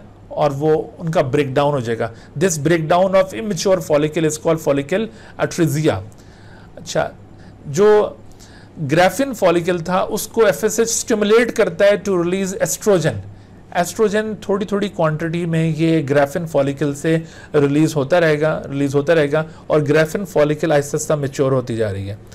अच्छा ये जो एस्ट्रोजन की नॉर्म मिनिमल कंसनट्रेशन होती है small concentration of the estrogen ये एफएसएच को बहुत ज़्यादा सीक्रेट नहीं होने देती है, ठीक है? उसके बाद फिर ये एस्ट्रोजन का लेवल आहिस्ता आहिस्ता बढ़ना शुरू होगा। इस दौरान में देखो, ये जो एफएसएच था, ये ग्रेफन फॉलिकल को उसके अंदर स्पर्मेटोजेन ओजेनेसिस के प्रोसेस को ये कंट्रोल करेगा और आखिरकार ग्रेफिन फॉलिकल में वो जो सेकेंडरी ओसाइड था, उसकी फॉर्मेशन कंप्लीट हो जाएगी। यहाँ पर आकर ये जो एस्ट्रोजन था एस्ट्रोजन का रोल हम यहाँ पर एक्सप्लेन करेंगे। देखो फॉलिकुलर फ़ेज़ में एफएसएच भी काम कर रहा होता है और उसके साथ साथ एस्ट्रोजन भी। FSH की ये तमाम एक्टिविटीज़ आपने अभी तक जो मुलायजा की, ये सारी ओवरी से रिलेटेड थी। इस वजह से आप इन तमाम इवेंट्स को ओवेरियन साइकिल में इंक्लूड करेंगे। यहाँ पर अक्सर सवाल बनते होते हैं कि which of the following event is related to ovarian cycle and which of the following event is related to uterine cycle तो ये जितने भी इवेंट आपने FSH के नोट किए, ये सारे ओवेरियन साइकिल से रिलेटेड थे। लेकिन इसी फॉलिकुलर फ़ेज़ में चूँकि एस्ट्रोजन भी सिक्रीट होना शुरू हो गया है तो एस्ट्रोजन क्या कहता है? It prepares the uterine wall for implantation यानी ये इम्प्लांटेशन का मतलब स्टैब्लिशमेंट ऑफ़ प्रेगनेंसी ये क्या करता है कि यूट्राइन वॉल को प्रिपेयर करना शुरू कर देता है. एंडोमीट्रियल लाइनिंग की डेवलपमेंट शुरू कर देता है. यानी it stimulates the vascularization and the development of endometrium ये काम इस एस्ट्रोजन का है. और ये इवेंट चूँकि यूट्रस से रिलेटेड है therefore this event is included in the uterine cycle estrogen का एक और रोल ये भी है कि it inhibits the further secretion of the FSH FSH की फर्दर सिक्रीशन को ये इनहेबिट करेगा. देखो, ये ये वाला जो काम है ना, ये इस तरह से होता है कि पहले मरले पर जब एस्ट्रोजन थोड़ा थोड़ा सा था तो उसकी वजह से एफएसएच बहुत ज़्यादा सिक्रेट नहीं हो रहा था. उस वक्त small quantity of the L भी यहाँ पर सिक्रीट हो रहा होता है इन वेरी स्मॉल अमाउंट लेकिन बहुत ज़्यादा क्वांटिटी इसकी सिक्रीट नहीं होगी। एफ़ एस एच कंपेरेटिवली ज़्यादा होता है, लेकिन small quantity of L H भी यहाँ पर सिक्रीट हो रहा होता है। और एस्ट्रोजन की लो कंसनट्रेशन इन दोनों को लिमिट रखती है। लेकिन एक्चुअली होता क्या है? देखो, यहाँ पर ग्राफ में अगर हम देखें तो एक स्टेज पर आकर ये आपको यहाँ पर देखो एफ़ एस एच की सिक्रेशन दिखाई दे रही है। F S H Aahista Aahista पहले ज़्यादा था और ग्रेजुअली अब ये थोड़ा कम होता जा रहा है और एल एच ये आहिस्ता आहिस्ता थोड़ा सा इंक्रीज हो रहा है। लेकिन एक स्टेज पर आकर, जिसको हम कहते हैं ओव्यूलेटरी डे उस वक्त जो एस्ट्रोजन था, उसका लेवल एकदम राइज करता है और जैसे उसका लेवल राइज करता है तो इसमें LH के अंदर भी एक सर्ज आएगा। एल की सिक्रेशन भी शार्प राइज शो करेगी। जब ये LH की सिक्रेशन शार्प राइज शो करती है तो उस वक्त ज़रा सा बूस्ट इस एफएसएच के अंदर भी आता है। लेकिन चूँकि ये estrogen it has negative feedback upon these two hormones तो इसकी कंसनट्रेशन की वजह से एफएसएच और एल सडनली ड्रॉप हो जाएँगे। अच्छा तो ये वो टाइम होता है जब ओव्यूलेशन परफॉर्म होगी। This is the time when ovulation occur यानी फॉलिकुलर फ़ेज़ यहाँ पर आकर टर्मिनेट हो जाएगा और ओव्यूलेशन अकर्स तो ओव्यूलेशन फ़ेज़ जो कि साइकिल में मिड के अंदर परफॉर्म होता है और इसको मोस्ट फर्टाइल फ़ेज़ के तौर पर कंसिडर किया जा रहा होता है। और इसके अलावा ये सबसे ज़्यादा ब्रीफ फ़ेज़ होता है। ये करेक्टरिस्टिक्स आपने ओविलेटरी ओविलेटरी डे या ओविलेशन फ़ेज़ के बारे में याद रखनी है। अच्छा ओविलेशन फ़ेज़ इसमें जैसे अभी मैंने बताया कि हाई कंसनट्रेशन ऑफ़ एस्ट्रोजन और उस वक्त एफ़ एस एच की कंसनेशन ड्रॉप हो चुकी होती है। जैसे मैंने अभी आपको ग्राफ में दिखाया था कि एफ़ एस एच जो है वो यहाँ पे ऐसे नीचे ड्रॉप हो रहा है और उस दौरान में एस्ट्रोजन की कंसनेशन यू हाई हो गई है। So this is the stimulus for the surge of L H तो एल एच एकदम ज़्यादा सिक्रीट होगा। उस वक्त ज़रा सा राइज एफ़ एस एच में भी अगरचे आएगा, लेकिन ये कंडीशन असल में एल एच की सिक्रेशन के लिए रिक्वायर्ड होती है। इस कंडीशन को दोबारा आप अच्छी तरह से समझ लें।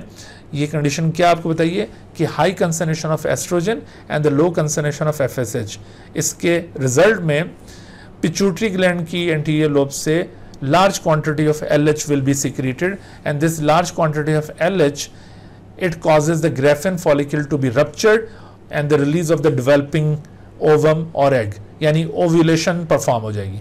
तो ये मोस्ट फर्टाइल फ़ेज़ इसी वजह से कहलाता है क्योंकि एग रिलीज़ होना होता है। और इसके साथ स्पर्म की फर्टिलाइजेशन इस दौरान काफ़ी ज़्यादा चांसेस होते हैं उसके। अदरवाइज़ अगर इसके बाद या इससे पहले स्पम अगर ट्रैक में आते हैं तो वो स्पम ज़्यादा देर तक वहाँ पर ज़िंदा नहीं रहते हैं। इस वजह से फर्टिलाइजेशन नहीं हो पा रही होती। तो that's why this is suppose to be the most fertile phase अच्छा उसके बाद जब ये ओविलेशन हो जाएगी तो नेक्स्ट फ़ेज़ शुरू हो जाता है that is called luteal phase luteal phase में एल एच रप्चर्ड फॉलिकल को कन्वर्ट कर देता है into yellow coloured glandular mass known as a corpus luteum और इसके साथ साथ L H stimulate the corpus luteum to secrete the progesterone corpus luteum और प्रोजेस्ट्रॉन को भी सिक्रेट करता रहेगा। प्रोजेस्ट्रॉन की सिक्रेशन आहिस्ता आहिस्ता बढ़ना शुरू हो जाएगी। जैसे अगर आप ये ग्राफ में देखें तो एस्ट्रोजन की सिक्रेशन ड्रॉप होती हुई नज़र आ रही है आपको, और जबकि प्रोजेस्ट्रॉन की सिक्रेशन अब बढ़ना शुरू हो गई है बिकॉज़ इस पॉइंट पर ये कॉर्पस ल्यूटियम स्टैब्लिश हो चुका होता है। तो इस वजह से अब कॉर्पस ल्यूटियम से प्रोजेस्ट्रॉन सिक्रीट हो रहा है। ये जो आपने एस्ट्रोजन की सिक्रेशन देखी थी, ये कहाँ से हो रही थी? ये सिक्रेशन हो रही थी फ्रॉम द ग्राफियन फॉलिकल जो मेच्योर्ड फॉलिकल है। लेकिन उसके बाद आप देख रहे हैं ओव्यूलेशन के बाद एक बार फिर एस्ट्रोजन की सिक्रेशन राइज कर रही है। तो ये सिक्रेशन एस्ट्रोजन की कहाँ से हो रही है? ये दरअसल हो रही है फ्रॉम द कॉर्पस ल्यूटियम यानी corpus luteum not only secretes the progesterone but also secretes the oestrogen ये दोनों हार्मोन कॉर्पस ल्यूटियम से सिक्रिएट होंगे। पहले प्रोजेस्ट्रॉन का लेवल राइज करेगा, उसके बाद फिर एस्ट्रोजन का लेवल राइज करेगा। तो ये दोनों हार्मोन्स फिर मिलकर इस एंडोमेट्रियल लाइनिंग को प्रमोट कर रहे होते हैं एंडोमेट्रियल लाइनिंग को फर्दर डेवलप कर रहे होते हैं, ताकि अगर यहाँ पर फर्टिलाइजेशन हो जाए तो उसकी कंसेप्ट उसकी इम्प्लांटेशन यहाँ पर हो सके। लेकिन आहिस्ता आहिस्ता जैसे जैसे ये ल्यूटियल फ़ेज़ आगे प्रोग्रेस करता है, और फर्टिलाइजेशन यहाँ पर अचीव नहीं होती, और इम्प्लांटेशन नहीं होती तो ऐसी सूरत में कॉर्पस ल्यूटियम ये यहाँ परसिस्ट नहीं कर सकेगा। असल में कॉर्पस ल्यूडियम को यहाँ पर परसिस्ट करवाने के लिए ज़रूरी है कि फर्टिलाइजेशन हो। क्योंकि फर्टिलाइजेशन होगी तो ऐसी सूरत में ब्लास्टोसिस्ट बनेगा। ब्लास्टोसिस्ट ह्यूमन के अंदर ब्लास्ट्यूला को कहते हैं। जब जाइगोट इम्प्लांट हो जाता है और वो डिवाइड करने लगता है, उसमें क्लिवेज होती है और उसके रिज़ल्ट में वो ब्लास्टोसिस्ट बनता है। तो ह्यूमन में जो ब्लास्टोसिस्ट है, उससे एक हार्मोन निकलता होता है। Blastocyst So this blastocysts give rise human chorionic gonadotrophin HCG इसे कहते हैं ह्यूमन कोरियोनिक गोनेडोट्रॉफिन तो ये H C G corpus luteum को मेंटेन कर लेता है अगर प्रेगनेंसी अचीव हो जाए और कॉर्पस ल्यूटियम फिर डिसइंटीग्रेट नहीं करता। और चूँकि प्रेगनेंसी अचीव नहीं हुई और प्रेगनेंसी अचीव नहीं हुई तो कॉर्पस ल्यूटियम अब मेंटेन नहीं रहेगा और ये रिग्रेस करना शुरू करेगा। जैसे जैसे ये कॉर्पस ल्यूटियम रिग्रेस करता जाएगा ये डीजनरेट होना शुरू होगा तो उसके साथ ही प्रोजेस्ट्रॉन की सिक्रेशन भी ड्रॉप होगी और साथ ही एस्ट्रोजन की सिक्रेशन भी ड्रॉप होने लग जाएगी। और दरअसल ये दोनों हार्मोन्स ही इस एंडोमेट्रियल लाइनिंग को मेंटेन किए हुए थे। जब इनकी, दोनों की सिक्रेशन ड्रॉप होती हैं तो एंडोमेट्रियल लाइनिंग यहाँ से शेड होना शुरू हो जाती है। अगर ये कॉर्पस ल्यूटियम मेंटेन हो जाता है ड्यू टू एससीजी तो फिर प्रोजेस्ट्रॉन और ये एस्ट्रोजन ये कंटिन्यूसली सिक्रीट होते रहते और जो एंडोमेट्रियल लाइनिंग थी वो परसिस्ट करते रहनी थी। और बाद में फिर जब प्लेसेंटा स्टैब्लिश हो जाता तो प्लेसेंटा से मजीद प्रोजेस्ट्रॉन हार्मोन सिक्रीट होता रहता और प्रेगनेंसी आगे कंटिन्यू रहती। लेकिन अगर प्रेगनेंसी अचीव ना हो तो फिर इस तरह से ये डिक्लाइन आएगा इन हार्मोन्स में कॉर्पस ल्यूडियम के डिजनरेट होने से और अल्टीमेटली ये जितनी भी एंडोमेट्रियल लाइनिंग डेवलप हुई थी, ये शेड होना शुरू हो जाएगी। ये एंडोमेट्रियल लाइनिंग शेड होने के रिज़ल्ट में ये सारा सेल डेबरिस ये जितना भी सेल डेबरिस है, ये सारा यहाँ से बाहर रिमूव होता जाता है और आखिरकार ये एंडोमेट्रियल साल, सारी बिल्कुल क्लियर हो जाएगी। This is known as menstrual flow या मैंस्ट्रेशन तो ये मेंस्ट्रुएशन वैसे आखिरी फ़ेज़ के तौर पर हमने डिस्कस किया, क्योंकि जब ये साइकिल का आगाज़ हुआ था, उस लिहाज से ये आखिरी फ़ेज़ था। लेकिन अब जब साइकिल शुरू हो गई तो हम मैंस्ट्रेशन से इसको काउंट करेंगे।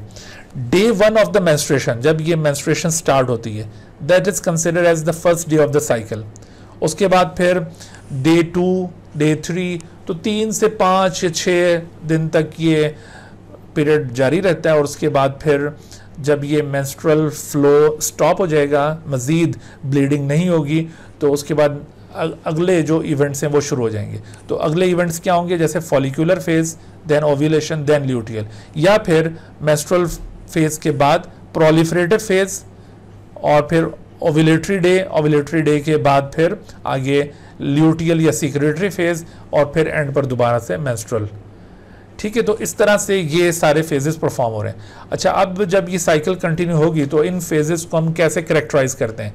इन फेजेस को हम इस तरह करेक्टराइज करते हैं। ये देखिए, यहाँ पर फॉलिकुलर फ़ेज़ इसको day seven to day twelve बल्कि यहाँ से शुरू करते हैं हम। ये मेंस्ट्रुअल फ़ेज़ मेंस्ट्रुअल फ़ेज़ को day one to day six consider किया जाता है। और उसके बाद फिर फॉलिकुलर फ़ेज़ आ जाएगा। Follicular phase day seven to day twelve और फिर उसके बाद ovulation phase it is characterise by day thirteen to day fifteen और फिर luteal phase day sixteen to day twenty eight तो बीच में जो सबसे ज़्यादा फर्टाइल फ़ेज़ है, वो ये day thirteen to day fifteen है, या इसमें अगर फोर्टीन डे आपसे पूछा जाए तो that would be suppose to be most fertile day ठीक है जी तो ये फीमेल रिप्रोडक्टिव साइकिल और उसका हार्मोनल रेगुलेशन अच्छा इसके अलावा कुछ ये रिप्रोडक्टिव डिसऑर्डर जो इनफर्टिलिटी कॉज करते हैं, उसमें मेल सिस्टम में इनफर्टिलिटी के कॉजेज़ और फीमेल रिप्रोडक्टिव सिस्टम में इनफर्टिलिटी के कॉजेज़ सेपरेटली हो सकते हैं।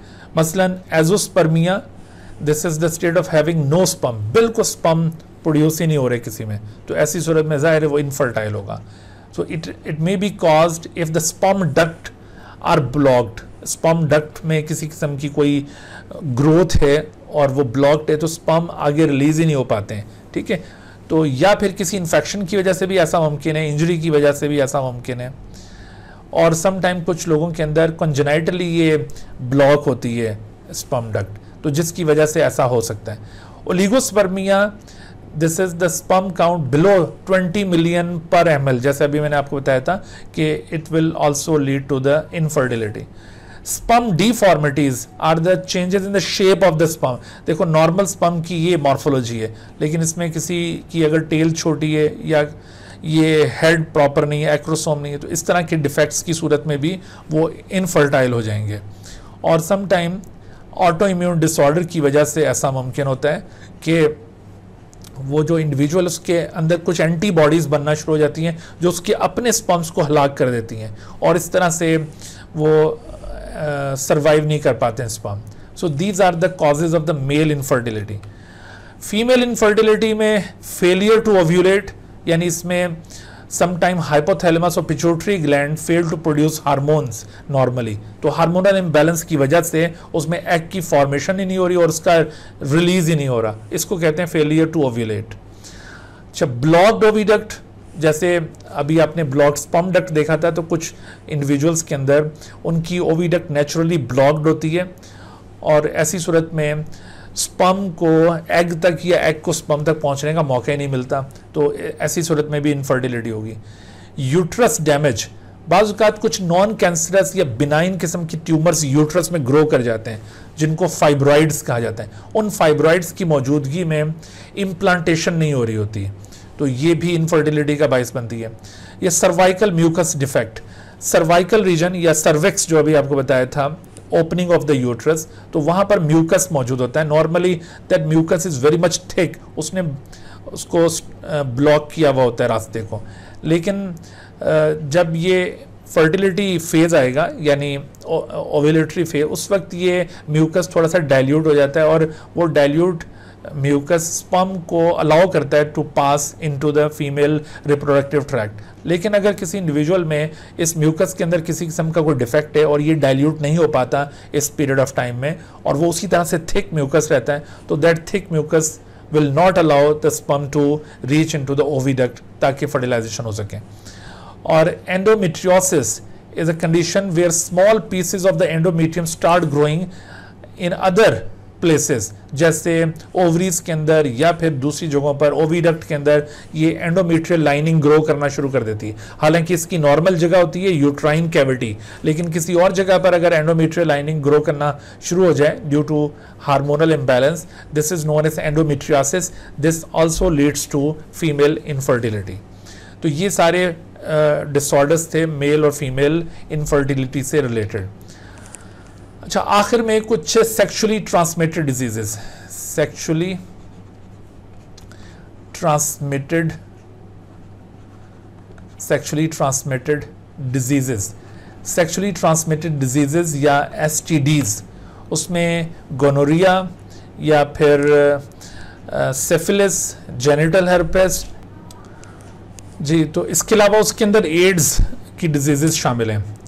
अच्छा गोनेरिया ये बेसिकली एक इन्फेक्शस डिज़ीज़ है Neisseria gonorrhoeae Neisseria gonorrhoeae is the causative agent of the gonorrhoea this is basically a gram positive bacterium.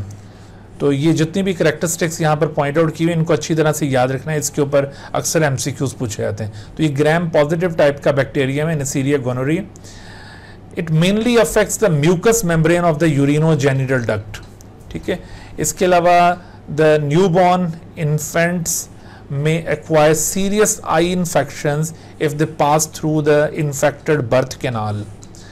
यहाँ पर देखो, ये यूरिनो जेनिटल ट्रैक्ट से मुराद, यहाँ पर वो यूरिनो जेनिटल डक्ट नहीं कहा, बल्कि यूरिनो जेनिटल ट्रैक्ट से मतलब है कि ना सिर्फ़ यूरिनरी ट्रैक्ट का ये इन्फेक्शन है यूटीआई में भी इसको इंक्लूड किया जाता है, बल्कि इसके साथ साथ जो जेनिटल ट्रैक्ट होता है यानी जो एक्सटर्नल बर्थ केनाल है और उसके बाद फिर आगे सर्विक्स और यूट्रस तो ये उसका भी एक इन्फेक्शन है। तो इस वजह से ये यूरिनो जेनिटल ट्रैक्ट की म्यूकस मेम्ब्रेन को ये मेनली अफेक्ट करता है।